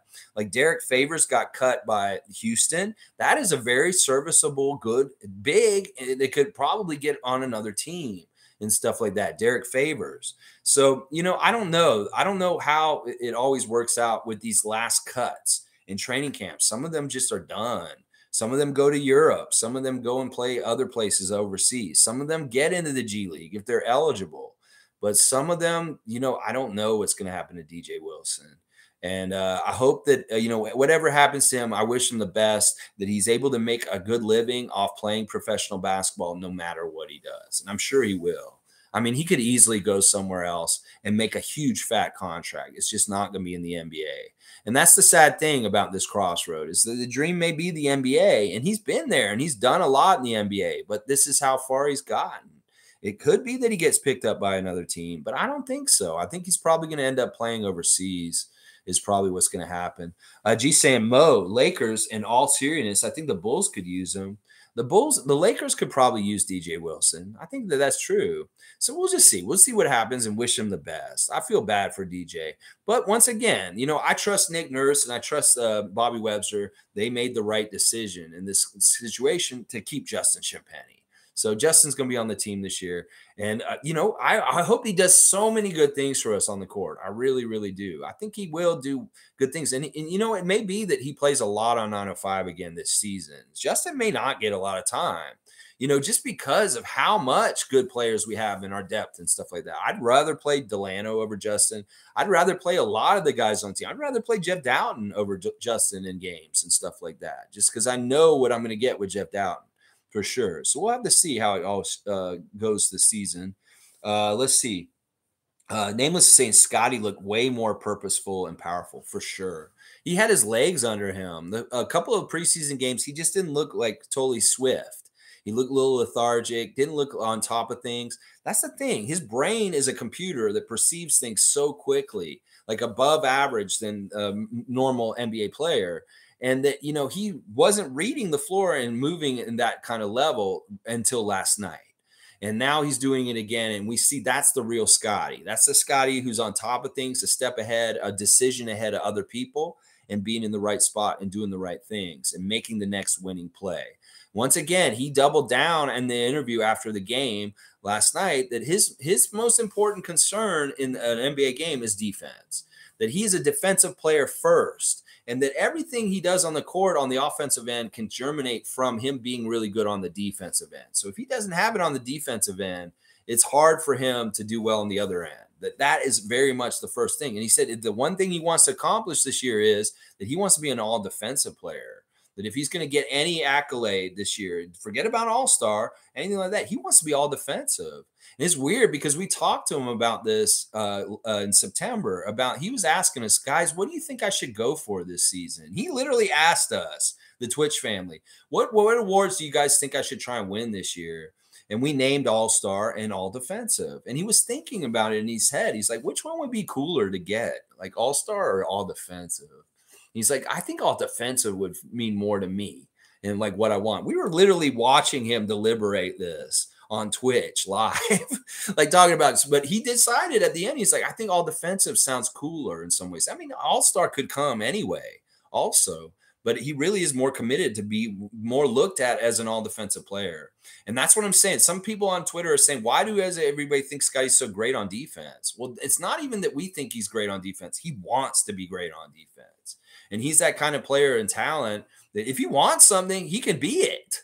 So uh, that's why I don't doubt him as a defensive player and him possibly getting to the levels like Precious and OG as far as lockdown defenders that can be very versatile guarding everyone. Scottie's another one of those guys, and don't discount him just because we have two already. Why do we have so many? We can have as many as we want if we have them. So Scottie, we have three of those guys. I really look at it that way. OG, Precious, and Scottie are all the kind of same kind of guys that are going to be trying to do certain things on defense. They have the same goals. They all want to cut the water off and be the best defender on the Raptors. Well, something's got to give, but that competition's fantastic. That's such a healthy competition that these three gentlemen want to be the best defender on the Raptors. Well, something's got to give. OG's the best defender on the team, but Precious has shown some really good things in the playoffs last year and in different ways for his defense. And Scottie wants it. The desires in his heart. So we'll have to see this fight. And it's not like we can really quantify it or really say we can just say that, wow, we've got three locks. And that's what I want to be able to say. We have three lockdown defenders at all five positions and stuff like that. I really love it. Um, Logical saying, Mo, no doubt. Development and chance to show his skills was the opportunity, in my opinion. Um, Yeah, we'll have to see what DJ does. Scott B saying, What a night. Complete meltdown by the Celtics. Our bench crushed them. You had a good time at the game, Scott B. I'll bet you had a fantastic time. I'll bet it was a lot of fun to be in the Bell Center last night and watch this great, fantastic overtime win, the Raptors over the Celtics last night. Kudos to you, Raptor Freak, Scott B, for being on site and representing the crew in the house last night. Yeah. Kenny is saying it's official, y'all. Koloko is a stud. We are good. Yes, Kenny. Yes, yes. Speak the gospel, Raptor Freak Kenny. He is a stud, and we are good. Yeah, we are. Scott B saying 100% Koloko was a beast. He saw it with his own eyes in real life. He saw that dunk where Koloko stretched out and threw it down nasty real nasty like oh my gosh it's absurd the length this man has it's absurd uh, Goonie, good to see another new name. Goonie, thanks for subscribing. Uh, Siakam doesn't have to get at all the ball. I agree with this. We don't have to put the ball through Siakam all the time and stuff like that. In fact, maybe we do need to be more equitable uh, with how we who we go to with different times down the court. You know, like we kind of switched back and forth between Scottie and OG last night a bit, although with a little bit of Precious mixed in there with it. Why not do this with Pascal when he's healthy? He doesn't have to be the end all be all go to guy all the time. We can switch our go to guy. And really, I think what the Raptors are trying to do is really recognize the mismatches. It may be very much who is Derrick White guarding. Okay, we're going to go to the person that Derrick White is guarding and we're going to bully Derrick White. Or who's Marcus Smart guarding? He's a little more savvy on defense as a little guy, but he can still be bullied. And it's really recognizing those mismatches and being aggressive in, in, in going after them. Because we've had those mismatches in the preseason before, and we've been kind of like half heartedly getting into them. But we need to be aggressive, cutthroat, and just go right at them and abuse them. Like really beat them over with the bully ball because we've got it. We're going to have it against every single team this year. And it's really going to be recognizing who's their small guard going to be guarding out of our six nine lineup. And let's get the ball to them and let them bully. They said it in the press conference last night. Nick is very much directing the team to do this bully ball and look for those mismatches when a smaller guy from the other team is on one of our big dudes like OG and stuff like that. And we saw it, and it's very effective. And in fact, we proved in some ways that that'll beat the three point shooting in a couple different ways. The three point shooting is going to get them more points, and that was a big part of why they had a margin over us the first half of the game. But it really over time we wore them down and bullied them down, and they they stopped making those shots in the second half. So they want to live and die by the three. They're making them sure you can be up ahead for a little while, but once you start missing those shots, what we're doing is way more consistent and easy to keep up and stuff like that. So I love our style. It may be not the most pretty. People may say, How are you going to fucking win if you can't make any threes? Well, we'll show you how we're going to win. We're going to outwork you, out hustle you, outshoot you because we shot more shots than you and stuff like that. It really is a factor in last night. We look at the team stats. We got 107 shots to their 91. That means we got 16 more shots than them uh, overall through the course of the game. That is fantastic. That is a lot of shots. Uh, Monique is saying Scottie interview after the game with Kayla. Also great to see Kia in the building and back with TSN this season. So she is going to be broadcasting, or she's not going to be playing. I guess that she doesn't have anything to play in because the season's over for WNBA. Well, that's good. I'm glad to see Kia Nurse was there and interacting with Kayla. And Kayla was great. Like uh, a couple different interviews she did last night that I really enjoyed. The Kia Nurse, the Robert Parish interview was fantastic. Robert Parish is honestly uh, a real Hall of Famer and a fantastic person. I love what he said about Bill Russell. I love what he was saying in the context of Montreal and Canada and Toronto. You know, just really cool to see a Celtics legend like Robert Parish in Montreal for this game last night at the Bell Center. That was a big deal. And that kind of really signified that the Celtics were taking kind of half ownership of this game, being halfway between Boston and Toronto. It really is kind of was neutral territory for us, even though the game was in Canada. There was some Boston, there really, really was some Boston fans there. And Robert Parish being at the game signified also a Boston kind of contingency in the game. So I love that interview. And then after the game, yeah, Kayla did a good job with Scottie. And Scottie was very well spoken, said the right kind of stuff after the game. I'm so proud of you, Scottie. And I know when I tell you I'm proud of you on Twitch, you're like, why are you proud of me? Why are you proud of me? I was like, dude, just take that people are proud of you proud that you play for the Raptors, that you're the rookie of the year, and that you're part of our future. We're proud to have you around and take it, even though you're not used to it. And maybe you're not used, you feel uncomfortable when people say they're proud of you. I understand. Maybe it's just something about how when you were raised and stuff like that. It's a hard thing. Or maybe you just don't understand why people would give a shit about what you're doing. well, we do, and we love you, and we are proud of you. So that's what it is right there. Uh, Goonie saying we have a good bench. Boy, do we, Goonie. I love it. I love it so much.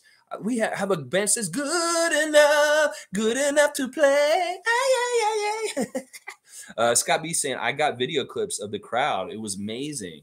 That's awesome, Scott. I'm glad you had such a good time in the Bell Center over there and stuff like that. Y'all, check out Scott B's company. If you need some roofing job done around Montreal or stuff like that, Scott B can help you out with getting your roof reshingled and redone and stuff like that. Scott B's company is awesome. I I know it is. So check him out. And uh, I don't know the name of it though, Scott. I need to know the name of your company. Uh, the Nacho saying Brooklyn needs DJ. Yeah, maybe. I don't know. Let him go to there and stuff like that. Who cares? they have problems too there. I mean, uh, uh, what was it? Like Ben Simmons fouled out really quickly last night, stuff like that. They're trying to play him at center, and he had a lot of fouls quick. ah, all the dumpster fires are so entertaining around the season right now. Like so far this season, you got Golden State, you got the Lakers, you got the Celtics, you got the Nets. They're all dumpster fires, and I love it. It's so good. Um, all right, let's see. Tom Duke saying Kayla does a great interview, in my opinion. Cool, Scott. Can you post them? I want to watch them. He Tom Duke wants to see your footage, Scott B, from the game.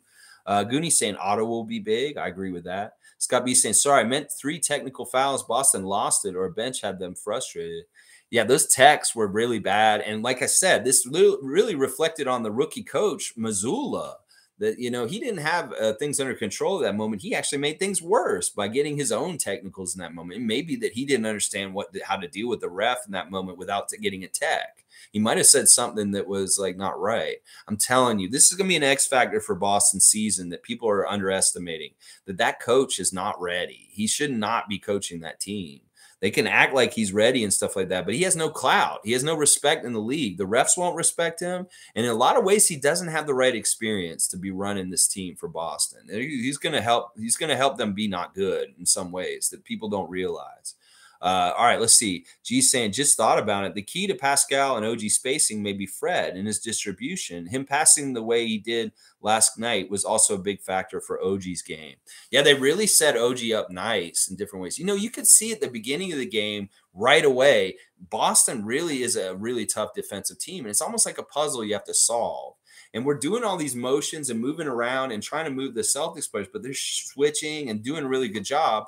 And it was that first lay-in this that OG got. He kind of came, kind of swung around and was swinging towards the basket coming around, but they had swung the ball around the whole court and almost everybody had touched it. And then finally, they got beat the defense, and OG did that nice little uh, slick lay in to make it in. That was very calculated way to beat the Boston defense, but they had to work hard to do that. That's part of the thing that makes us look so bad on offense is we're having to beat defenses that are working really hard and you have to unsolve them like a puzzle, like a Rubik's cube. It's like the Boston Celtics defense is like a Rubik's cube. And then right at the beginning of the game, they're fresh and they're really on it and stuff. You have to kind of find that crack and move the ball around in certain ways and stuff like that. And that really was what happened when OG made that nice cruising layup to the basket at the beginning of the game for our first basket last night. That was solving the puzzle but it, it, took some work. It took some work. If you noticed, uh, G saying Delano's passing and play was a big factor in their spacing. Delano's just a really good X factor for us to have. I like the fact that we have two second round picks from the last two years that have kind of like um, uh, extra uh, powers that add to things on the court more than just who they are, whether it's uh, the presence of Koloko or just the aggressiveness and the length combination of Delano Banton. These are guys that are really, really are rotation players for us. And like they're second round picks. In some ways, that is really awesome and a testament to once again Bobby Webster and Masai Ujiri just really smart drafting and stuff like that. These guys are very useful and they're showing skills that are kind of unique in some ways. They're not all over the league and stuff like that. So um, all right, let's see what else is going on. Uh, Logical saying Land of the Giants, aka the Paint. Yeah, that's where that's where Fred goes in the Land of the Giants. That's what I call it. And last year he looked really bad in the Land of the Giants, especially when he was hurt in the second half. But other times he can look like such a giant killer with his nice little fall on the floor, spins and it goes in and stuff like that. I love that kind of stuff. Uh, cool Cat saying, remember from the chip run, we had potent options. That is what we are doing. We can't cancel other players. We need all the options. Exactly. And we don't know which one. And, and like I said, I've likened our team to a, a piano, just like Nick Nurse likes to sit at the piano and play the keys. He just has to know the right tune for each night. And some nights he may be hitting that B flat a little bit more, or maybe that high C a little bit more. And that means he's going more to OG, or that means he's going more to Delano for this reason, or Precious, or something like that. That's what we have to understand that Nick Nurse is playing the piano literally before the game and after the game to clear his head, but also during the game. And the players are the notes. And that he just has to find the beautiful melody for that night. And it may not be the same song every night. And the main notes may not always be Pascal and Fred, Pascal and Fred. It may be sometimes Gary and OG, Gary and OG, or Precious and Chris, Precious and Chris. It's going to be different. It's going to be different almost every night. And we need to allow for that and, and just enjoy it and be like, wow, our team is really balanced and we have a lot of good players. And that's not a bad thing. That's a real strength. Uh, Monique saying daily reminder 7 p.m. Wednesday night. Get there early. That game is early. If you got to work that day, go straight from work to the arena. Seriously, don't even try and go home. Don't do none of that. Go straight to the game from wherever you are when you get done from work because you want to get there early. And a seven o'clock start on a Wednesday night for the season opener is bad because this is similar to what happened with Washington last year. You know, we have that season opener. They put it at 7 p.m. sharp. That means they're going to start the game right at 7 or 707. And if you're not there till 7:30, you miss the first quarter of the game. So really make sure you get there on time because we want to have that energy good right away. We don't want to have empty seats in the lower bowl. And it is a factor. It really is a factor when we have late people show up. I love that I heard Matt Devlin say that the fans were there right when the doors opened last night for the Montreal game last night. That is exactly the kind of behavior we need the fans to have is be there right when the doors open, just like they did in Montreal last night. This way we can ensure there will be good energy right away at the jump ball at 7 p.m. on Wednesday night. And it matters. Trust me, it matters. It can help how we start the game by having good energy and having good support right away, right at the beginning of the game. Uh, G saying, Cool Cat, agree with you. All are important. We can't turn players on each other. Just figure out schemes to play to all their strengths. Yeah, like some Raptor fans think of it as like, okay, OG played so good. We don't need Pascal anymore. Let's trade him. That's all a lot of people are probably saying today. Idiots. That's the thing is that we want to have all this glut of things. And this is the abundance uh, mindset is that you want a lot, continue to have a lot, have a mindset of abundance. And we have abundance on our team right now. We want to continue to have that. And it's just like in real life. Sometimes you get in a limited mindset when you say there's not enough for everyone and they pit us against each other and it becomes a dog eat dog world. And financially, I'm talking about in real life, your everyday life. Well, they want you to believe that there is an abundance of things, there's enough for everyone.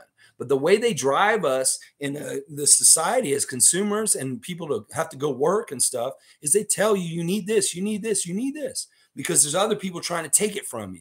That there's a scarcity mindset that says there's only a certain amount and that's all there is. Well, it's not that way. We have to think in abundance mindset. There's enough for everyone on the court offensively for the Raptors as a team. And it's also true in real life for all of us in re- the real world. It's just that there's greedy people. anyway, all right, let me keep going. Um, uh, cool cat saying, I think we're going to the Golden State route. We're developing and keeping our core players, and we're not going the Demar route. We have lifers on our team. I hope so. And that's telling me where I am on the timestamp. I'm exactly an hour behind. Uh, Killer Cat with effects again. All right. Uh, Monique saying TSN doing a Raptor season preview Monday. I believe so. Look out for it. I'm doing one too. I'm going to do my season preview on Monday. So look out for it Monday morning. I'll be doing my rankings of who I think is going to be where in the Eastern Conference. More looking at the Eastern Conference. It's more my specialty. Probably won't talk about the West too much, but I'll definitely break down all the Eastern teams and kind of where I see them in the, the pecking order of where they should be this year, as far as uh, where they uh, in the standings and stuff like that. Um, Tom Duke saying cool, cool interview with Robert Parish during the game with him admiring what Bill Russell accomplished in his culture. Yeah, really like to see Big Chief there. Um, Koloko was forcing Boston to chuck up threes and miss after miss. They were shook of Koloko last night. Trust me, that's what Nameless is saying. 100%, 100% about speaking reality into existence. 100%. Toronto Raptors, NBA champions 2023. Toronto Raptors, NBA champions 2023. Uh, cool Cat saying we're not trading Gary Trent Jr. guys. He's still developing at a young age. Stop talking about trade value. That's right. We're not trading people. We're not trying. We got the right people. We need to keep going. Uh, Isaac saying uh, Fred could lead the league in assists. I will keep saying it. Everyone around Pascal and Fred are getting better. Those two will just adapt their games in order to win now. Fred said it. He's going to do whatever it takes for us to win championships. He will take a back seat as far as he needs to, or he will take over as much as he needs to. He's willing to do both. That is such a luxury. This dude is not that much of an ego head that he has to get his every single time. He knows that he can turn his water off and let other people take the shine at times. But he's also a great emergency person. If all things are going bad, Freddie will step up and save the day. So that's what we have to think in those kind of ways with these guys. Uh, Nameless is saying Koloko is going to fill out 100%. I think he'll end up around 250. Ooh, I don't want him to get too heavy. But yeah, 250 is not a bad weight for his height and that stuff like that, especially if it's all muscle and stuff. Yeah. Uh, scary stuff. Scary stuff indeed. It's a scary time of the year, October. Uh, Monique saying, uh, news and notes. Thad's son, Thad Jr., playing for Made basketball this year. Something to talk about. Follow you follow Thad's wife. Good stuff. Good stuff. I know that um uh uh Khem Birch's mom was very proud of him in the game in Montreal last night. That was a big deal to uh Khem's mom.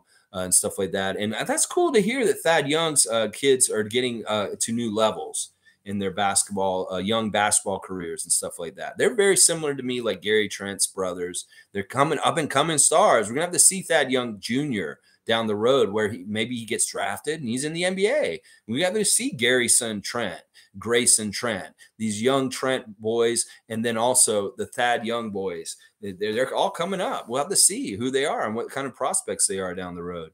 Uh, G saying the pre this preseason Canadian tour has really made me appreciate Raptors fans all around Canada. The fans have shown up and represented well. Yes, I'm so proud too. Like seriously, this is not normal for NBA teams. You know, you can't go in other places in Florida and have the Orlando Magic get this kind of ovation, stuff like that. You know, it's not like this and stuff like that. It's very, very awesome. And I am proud of our Raptors nation also, G uh, for showing up and being so awesome with the energy and just selling out and just everything. And I know that they all enjoyed it too. Edmonton and Montreal, thank you. You guys were awesome this year. And Victoria too, for sure. Victoria and Tom Duke and everybody out there. Uh, let's see. Monique saying sold out crowd. Yep. MK, good to see you, MK. It's been a bit. Always good to see you. Too bad Boucher didn't get to play, though. I know. There's one thing that's kind of sad about yesterday, other than the people getting cut is uh, Boucher not being able to be there in person and stuff like that.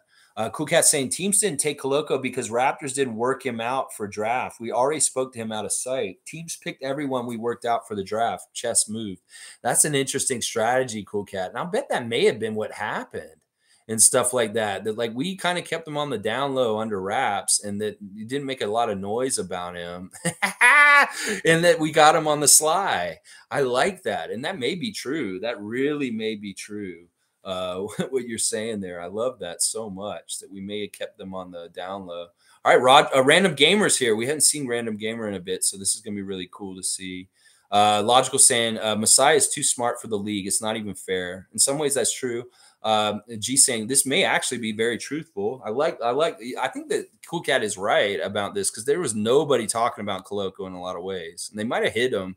And maybe Koloko was trying to hide too. He's like, I want to be on the Raptors, so he's like hiding. he's like, he's like, Hey, uh, the Celtics are calling you, uh, Christian. He's like, just hang up. I'm going to the Raptors. I want to go in the second round of the Raptors. Hang up. Christian's like, I got to play with the great Pascal Siakam. I can't be drafted by anybody else ah, it's hilarious. He's like hiding. Uh, logical saying, but also it was a visa thing, but they played around it on a bit. Yeah, the visa thing kept them from coming here initially right after we got him for a little bit. But I don't think that would keep anybody from the States from drafting him. I mean, he was already okay to play in the States, it just wasn't in Canada. So in a way, that was a detriment for him to be on the Raptors. We overcame it. Uh, cool Cat saying, just like our chip run, we have different about three different play styles in a game. It does seem like that. It really does. Uh, G says uh, I remember reading some advanced stats on Otto, and they were great. We'll try and find them. Yeah, there's a lot. There's all kinds of things about his game that are really good that'll add to us. Uh, Want to see more of Koloko once regular season starts? That's what Monique's saying. Click saying just woke up. What's up, guys? Click. I hope you had a great time at the game last night. I'm sure you did. If there's anything that happened at the game last night you want to add, like Scott B has been telling us already, please put it in there uh, represent to the Montreal Raptor Freaks for showing up and making it good.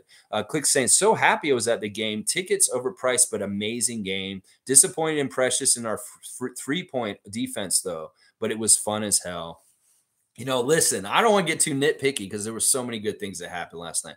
The three point defense could have been better in the first half. Boston does a really good job of finding their open three point shooters. It really is the kind of thing where Brown and Tatum go to the basket and they just kick it out, and boom, there's Grant Williams in the corner.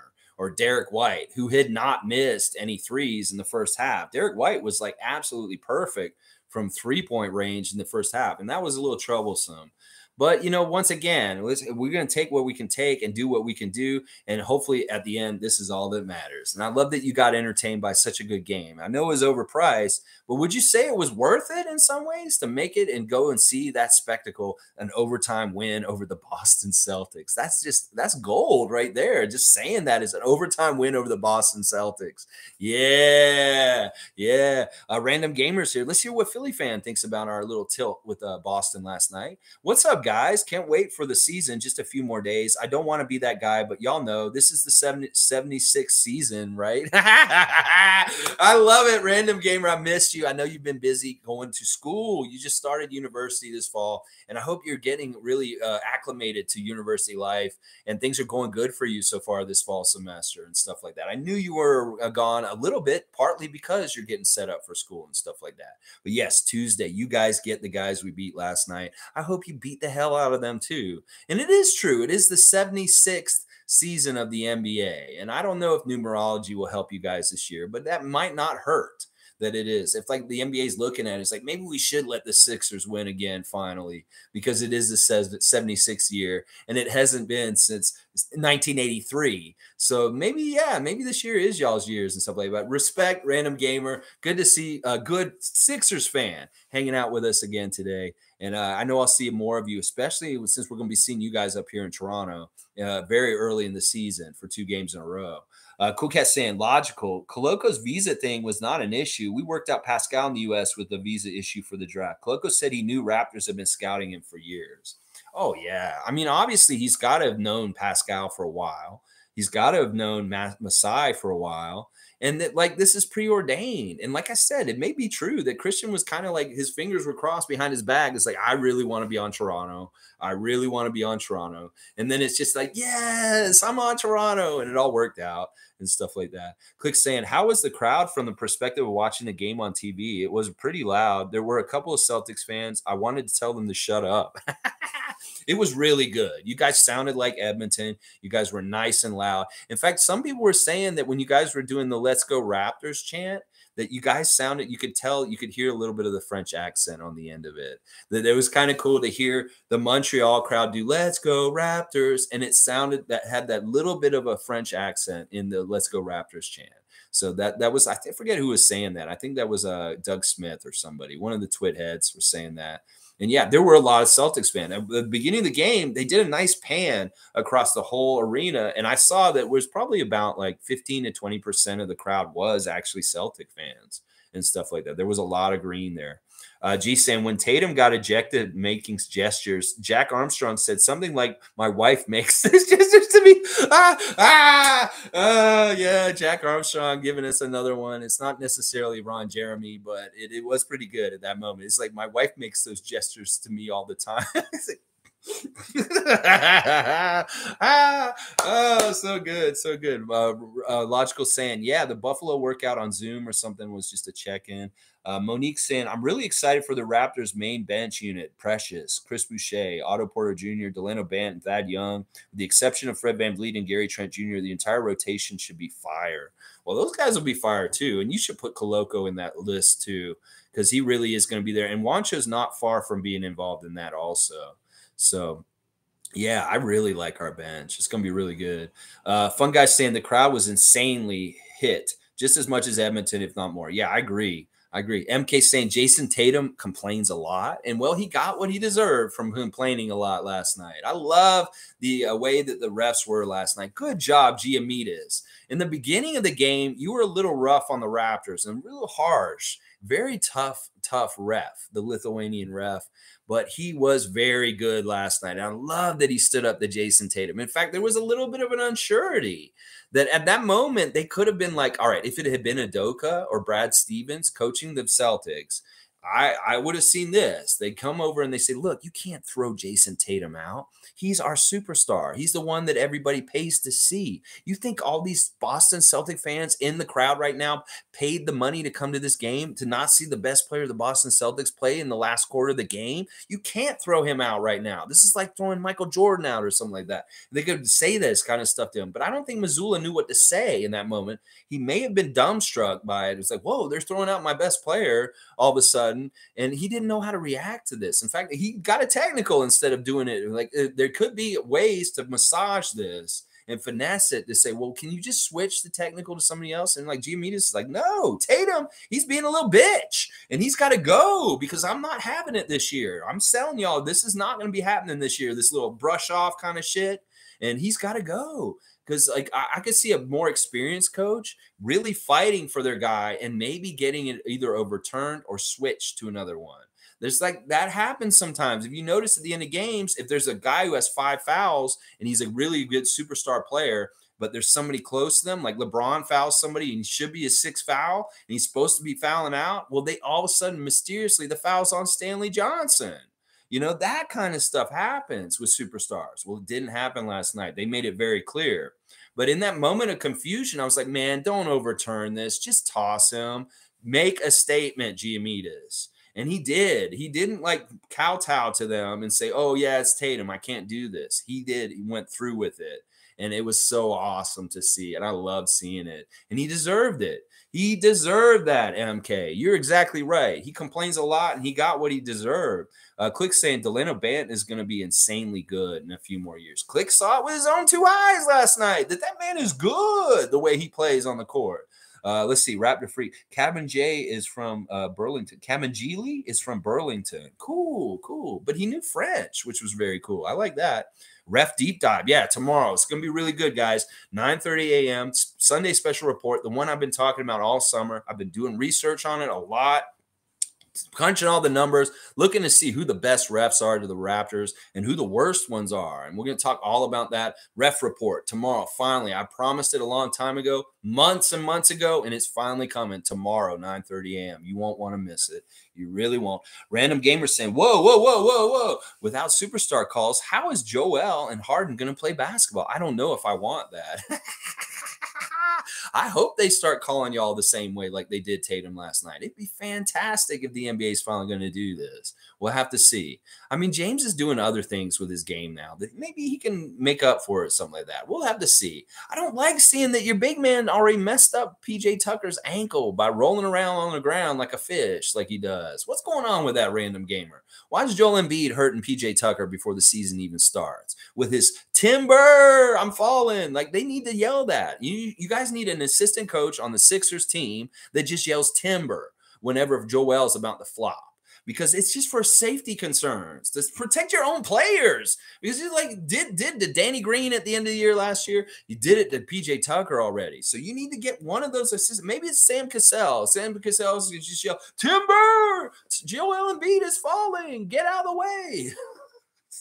it's like, why does he do that? Oh my gosh. Uh, Click saying, so we officially cut Wilson, Jackson, and Brown. It was expected. Champagnie did some good, great things. Important to keep in mind that his role will be smaller in the regular season. Yeah, I agree with this. And it may be partly really much culture, really much culture. And uh, like people have said today also, he's been invested in with time, very much like Malachi. People are like, why do we have Malachi still? Well, we've invested a lot into his development and stuff like that. And Champagnie is that kind of way too, and stuff like that.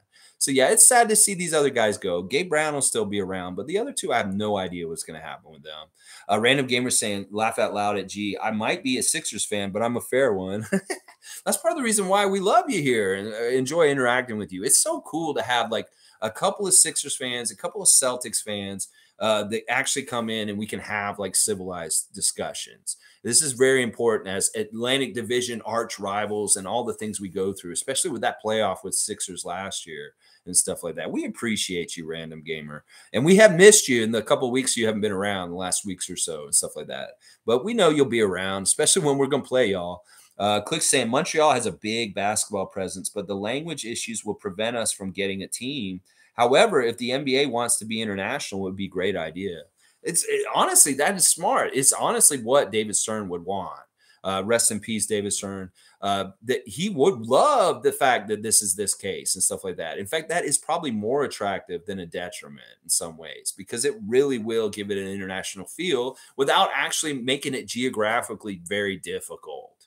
That this is still a city that people can get to in North America that'll do some things. I really like Montreal having an NBA team, and I want them to get one. I really do. I really, really, really do. I want there to be two Canadian teams again because I want that kind of rivalry within our country. I love having the whole country for us, but in some ways, there's also something really special about having another Canadian team with us. In some ways, it'll help us with different things that we go through with the media and different things. If there's two of us, especially there's one that's not as far as long as us, we may get more respect than them in relation to things. And that means we go up in the pecking order of respect in the league. So there's different reasons why I'd love to have a team, a franchise based in Montreal very soon in the future and stuff like that. The rivalry would just be fantastic, honestly.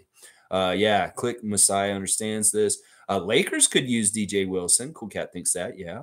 Uh, Click saying Jeff Dowtin is a stud. I think we can all agree with that. He's just really cool. I really like Jeff Dowtin. Uh, logical thinks Dowtin is about to take Flynn's spot, in my opinion. It could very well happen.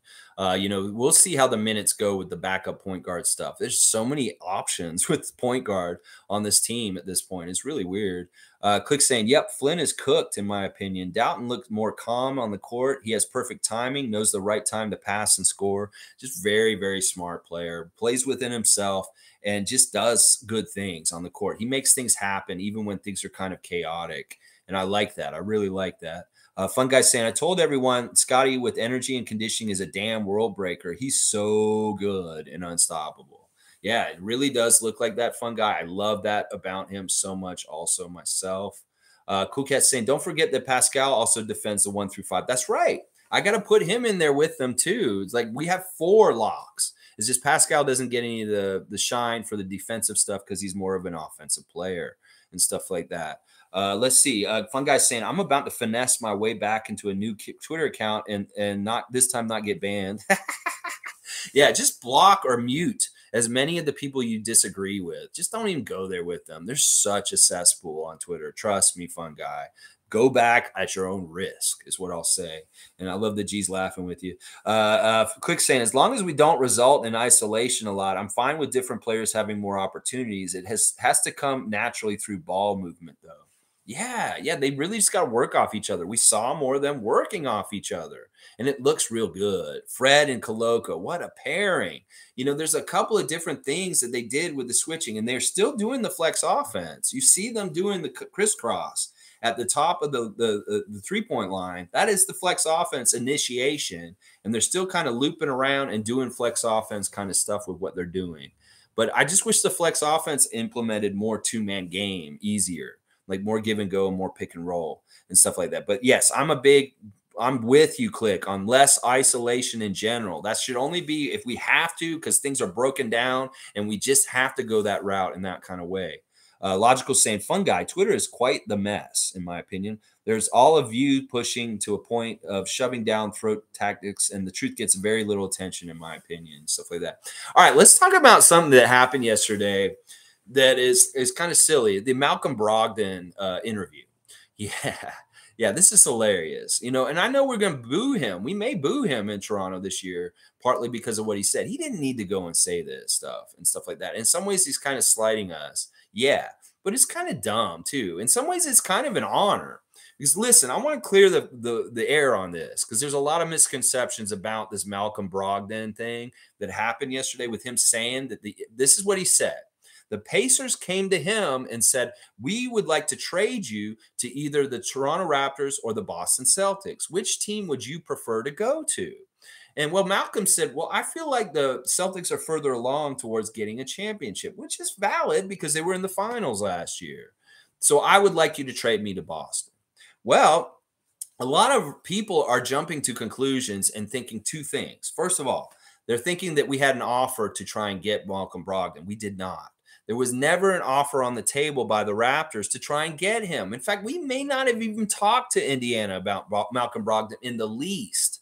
You know, maybe we inquired him, oh, is he available? But there was never any concrete offer. It's not like we said, we'll give you Gary Trent or Malachi Flynn or somebody like that for Malcolm Brogdon. There's no such thing. And then the second thing that we need to understand is what this says is that Indiana wanted to trade with us. It's kind of like Indiana has said, these are two teams that we would like to get assets from the Celtics and the Raptors. And this is who we would like you to, to think about going to and stuff like that so we can make a deal. So it's really kind of flattering. First of all, we did not necessarily want Malcolm Brogdon. It's Indiana wanted to deal with us possibly when they dealt Malcolm Brogdon away. That those were the two teams that they wanted to deal with because they like our assets. So, first of all, everybody who's speculating on Twitter in the last 24 hours about what the deal was that the Raptors sent to the Pacers for Malcolm Brogdon, there was no deal. There was never an offer that never even got to that point. As soon as the Pacers heard from Brogdon that he would prefer to go to Boston, they put all their energy into talking to them. And there was probably never even real discussions between the Raptors in a realistic way about him coming here. So everybody who's talking about, oh, we missed out on Brogdon, good. We don't want him. Trust me, he sucks. And then everybody who's trying to figure out who we were going to trade for him, just give up that unnecessary energy because there was no offer. In fact, I don't even think we actually wanted him. This was all from their end of the thing that they wanted to deal with us because they want players from us like OG Anunoby. They specifically want OG Anunoby in Indiana on the Pacers and that they will these were the two teams that they said they would trade with and then Malcolm picked them. Now, sure, we can say he slighted us, but he's right. They are a little further along in some ways, but they may not be at this point. Uh, so we'll have to see. But yeah, higher ambitions, number two, you go ahead, Malcolm Brogdon. But Raptor fan, realize we were not necessarily interested in getting him. This is just from them on their end of things talking about it. So we got to make these clear distinctions about this Malcolm Brogdon shit that happened yesterday.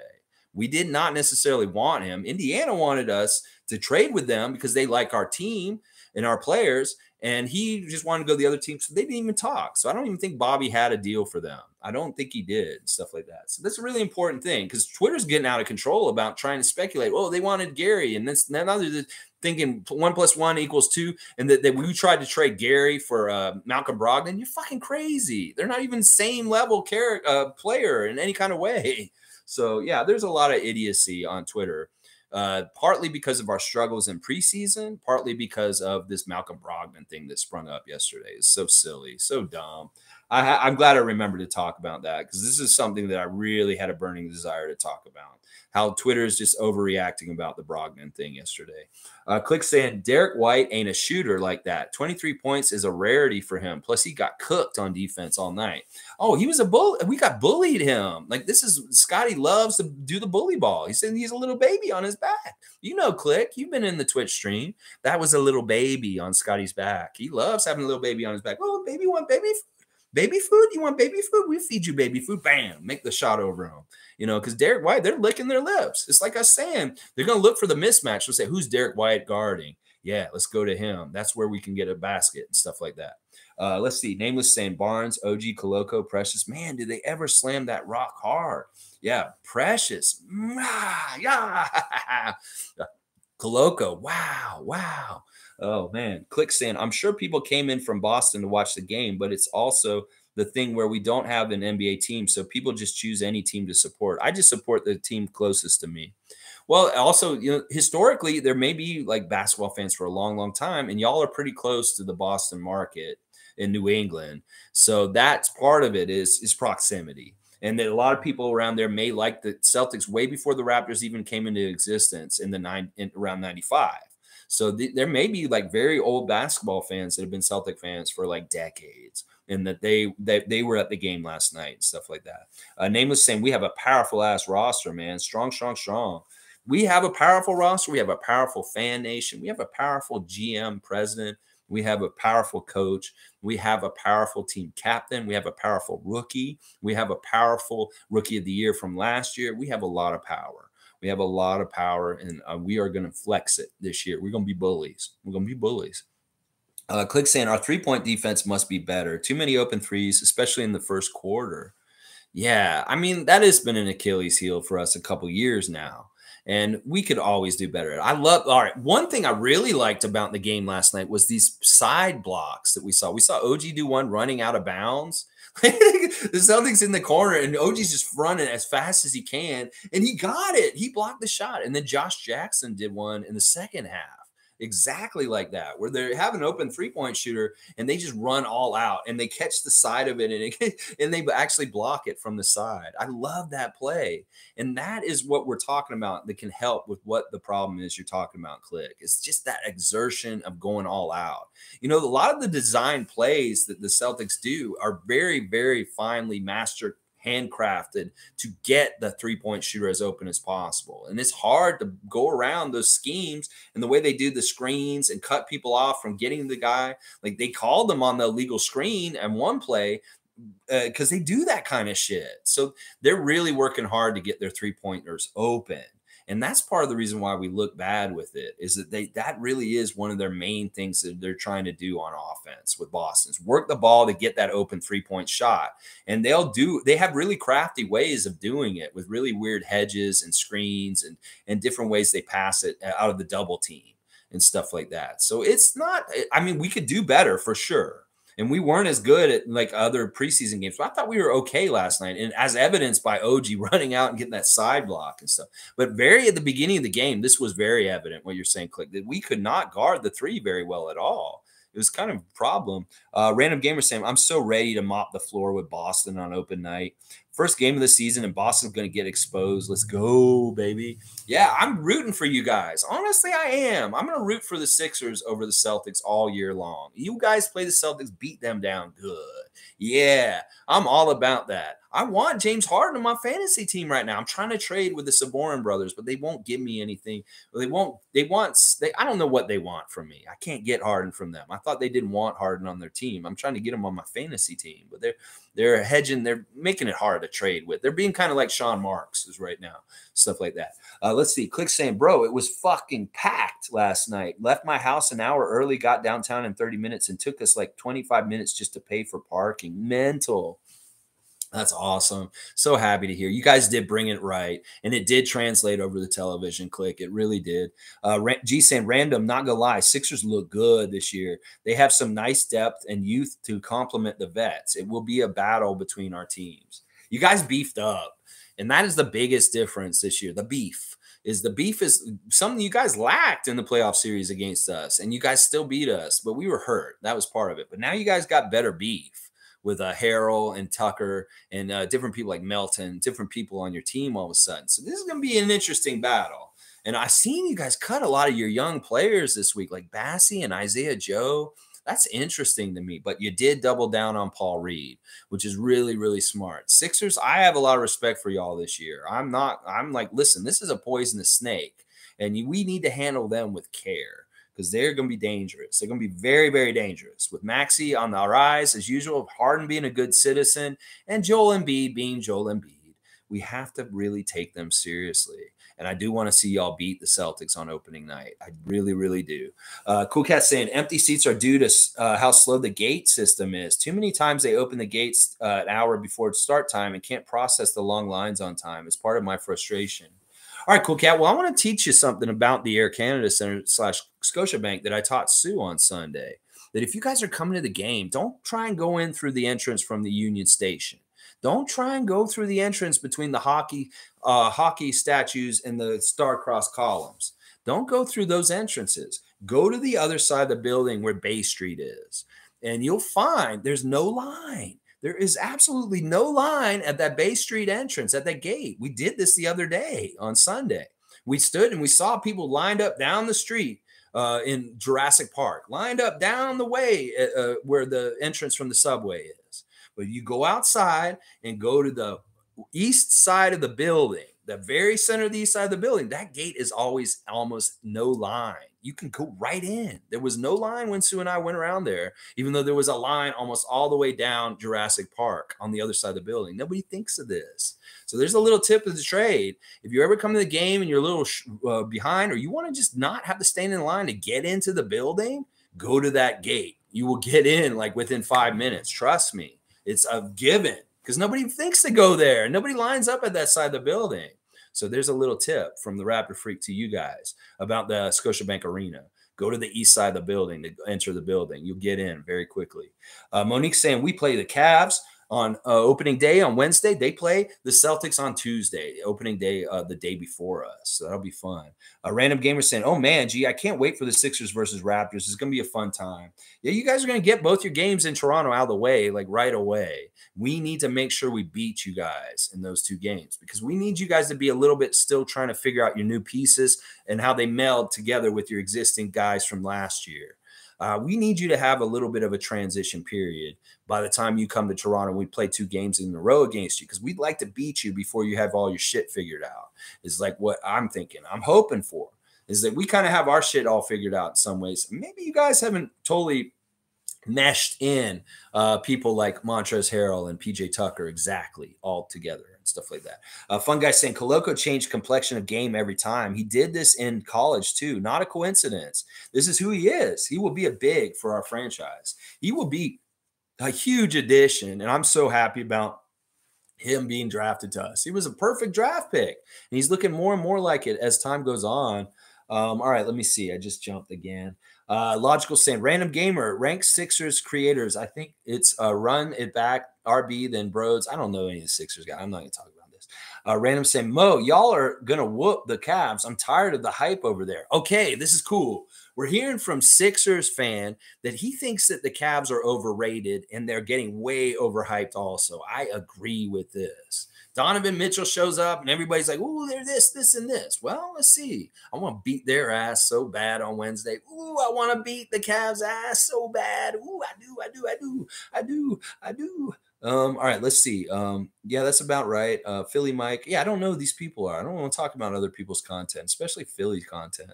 You know, I don't mind you talking about your content, Raptors fanatic, but seriously, this chat is for basketball stuff. It's not about talking about YouTube channels and people's different stuff like that. You can push your stuff a little bit. But the other day, you were kind of talking too much, taking over the chat, talking about the how much you should have time on your chat. So we don't want to do that here. We want to talk about the Raptors and the team and the game and stuff like that. Not necessarily about content makers, especially Philly content makers. I don't give a shit about them. Random gamer knows them. That's fine. Stuff like that.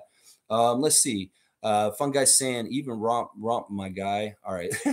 what is that? Uh, fun guy saying, so Embiid got it right when he said year 76. Maybe, maybe. All right, let's see. Uh, Tom Duke saying, we are basketball and general freaks. I like that. We are kind of all basketball freaks. Uh, let's see. Um, yeah, I'm just gonna skip all the stuff about Philly content. I don't give a shit about that. Uh, Nameless saying, man, we had Celtics offense in the Boston Crab last night. Great game by Nurse. Two pulled uh, he pulled at the right strings. I like that that ref, wrestling reference by Nameless. He said we have him in the Boston Crab, like Rick Martel would have somebody in the Boston Crab.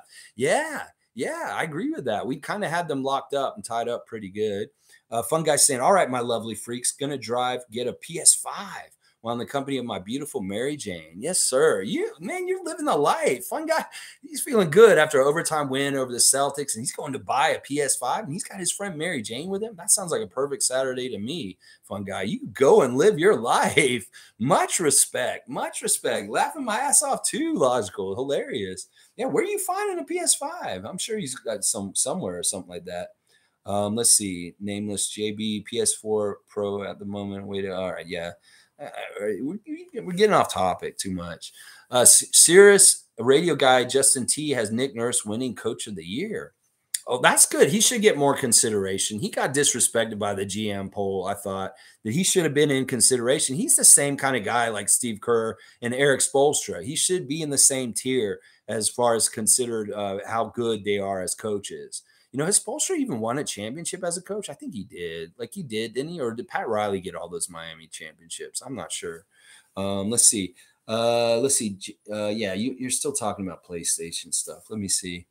Uh, all right. Uh, Monique is saying, remember reading that about Brogdon, we don't need you. Yeah, exactly. I'm like, what the fuck? Okay, thanks for the information and telling us, oh, you had a choice between the Raptors and the Celtics. Yeah, we don't really care. it's like, fine. I mean, this is a weird slight. And maybe some uh, Celtics fans will be like, ooh, and all this kind of stuff. But I mean, honestly, what he said is right in some ways but it's also kind of like you know who cares? Why do you even have to mention us? You know you're gonna make things uh, you know people are like well raptor fan don't overreact don't start booing him. Well why not? We're allowed to. He fucking slighted us. Don't talk shit about us. Don't put our name in your mouth if you're gonna say something like that. You, you expect Goran Dragic treatment you're gonna do that. And other fans are like, oh no, don't boo him for that. Fuck you. We can boo him for that if we want to. Ansem Joseph saying Brogdon is not a miss. I know, I know, Ansem, so much. Good to see you, Raptor Freak, Ansem Joseph. Uh, good to see you again. Yeah, it's like thank you, thank you for choosing Boston. Thank you, thank you for making them worse so they're easier to beat. Because you are kind of like part of Derrick White, and you are kind of like both kind of easy to beat in some ways and stuff like that. Okay, let's see. Okay, he's naming games now. I don't know what's up. Uh, Logical saying uh, Philly fan on documentary doc for not playing Paul Reed more. he's great. Like, but it is interesting that they cut Bassey and Joe and stuff like that. They're going with uh, Paul Reed though. He's a good one. He's a good one. I like him a lot and stuff like that. They'll probably him, play him more this season as it goes. But then again, they have more depth at power forward. They may not need him as much. They played him a lot last year, partly because they just needed more size. But now that they have the size, they may not play Reed as much. I don't know. We'll have to see. Sixers, Sixers have options. That's the thing. They don't just have like a uh, what's his name, uh, uh, Niang and like Korkmaz and stuff like that. Those were like their bench guys, and they're not big. They have no muscle. Now they got muscle. That's a problem. That is a problem. Uh, Nameless is saying, do you think Brogdon regrets joining Boston rather than To? Probably not. He's he's an idiot. He probably won't realize it. I don't know. I don't care. He's he's like he's a non-story to me in some ways. Uh, he will be an all-star by break for sure. Who are you talking about, Tom? Malcolm Brogdon? ah, uh, it's all good, fanatic. It's all good. We would just like to stay on topic. Sometimes you you take us in weird directions with some of your questions and comments and stuff like that. I'm I'm, I'm just going to drive around them in the future and stuff like that. It's all good. It's all good. I know you're passionate about a lot of stuff.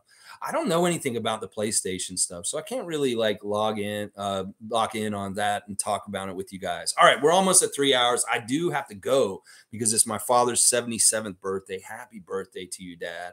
I feel so lucky and grateful that I get to be around my dad. The one person that could say I'm his son is my dad.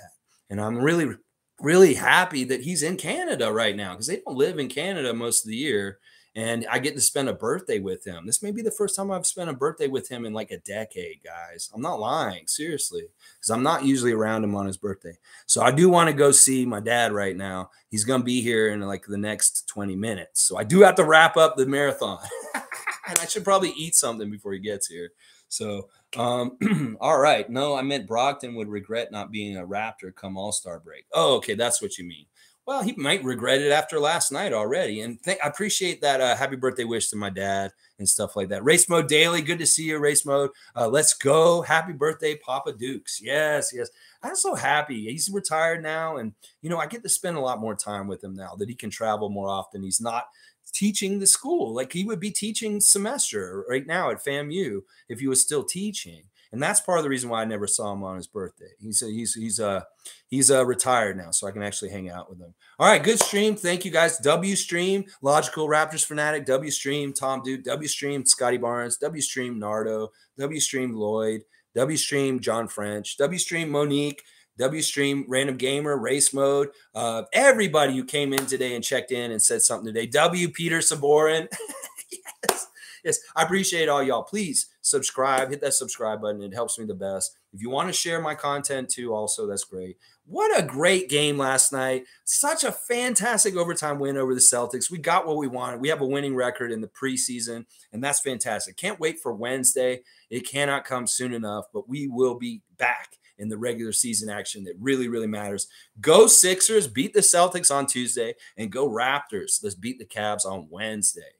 All right, tomorrow ref report. So tune in tomorrow. I'm going going deep dive on the referees in the NBA and talking about who's good for the Raptors and who isn't. And there's certain ones. You some of the people that are on the list that are bad for us, you know who they are. They actually really are bad for us. We are not wrong. and you know who those names are. We'll talk about them tomorrow. 9:30 a.m. Eastern Standard Time. Yes, fire, fire. Yes. Happy birthday, Papa Dupes from uh uh, CC, I'm gonna definitely say that. And Isaac Campbell, W to my dad. I'm gonna tell all the love from you guys. Actually, he might be hearing you guys right now, actually, because he's probably listening on his way down. He's driving here, and he's probably listening to us, and he's probably hearing all you guys saying happy birthday to him. And I, that's awesome. That's really special. Uh, Jeff Dowtin's grandma passed away this week. Oh, I hate to hear that.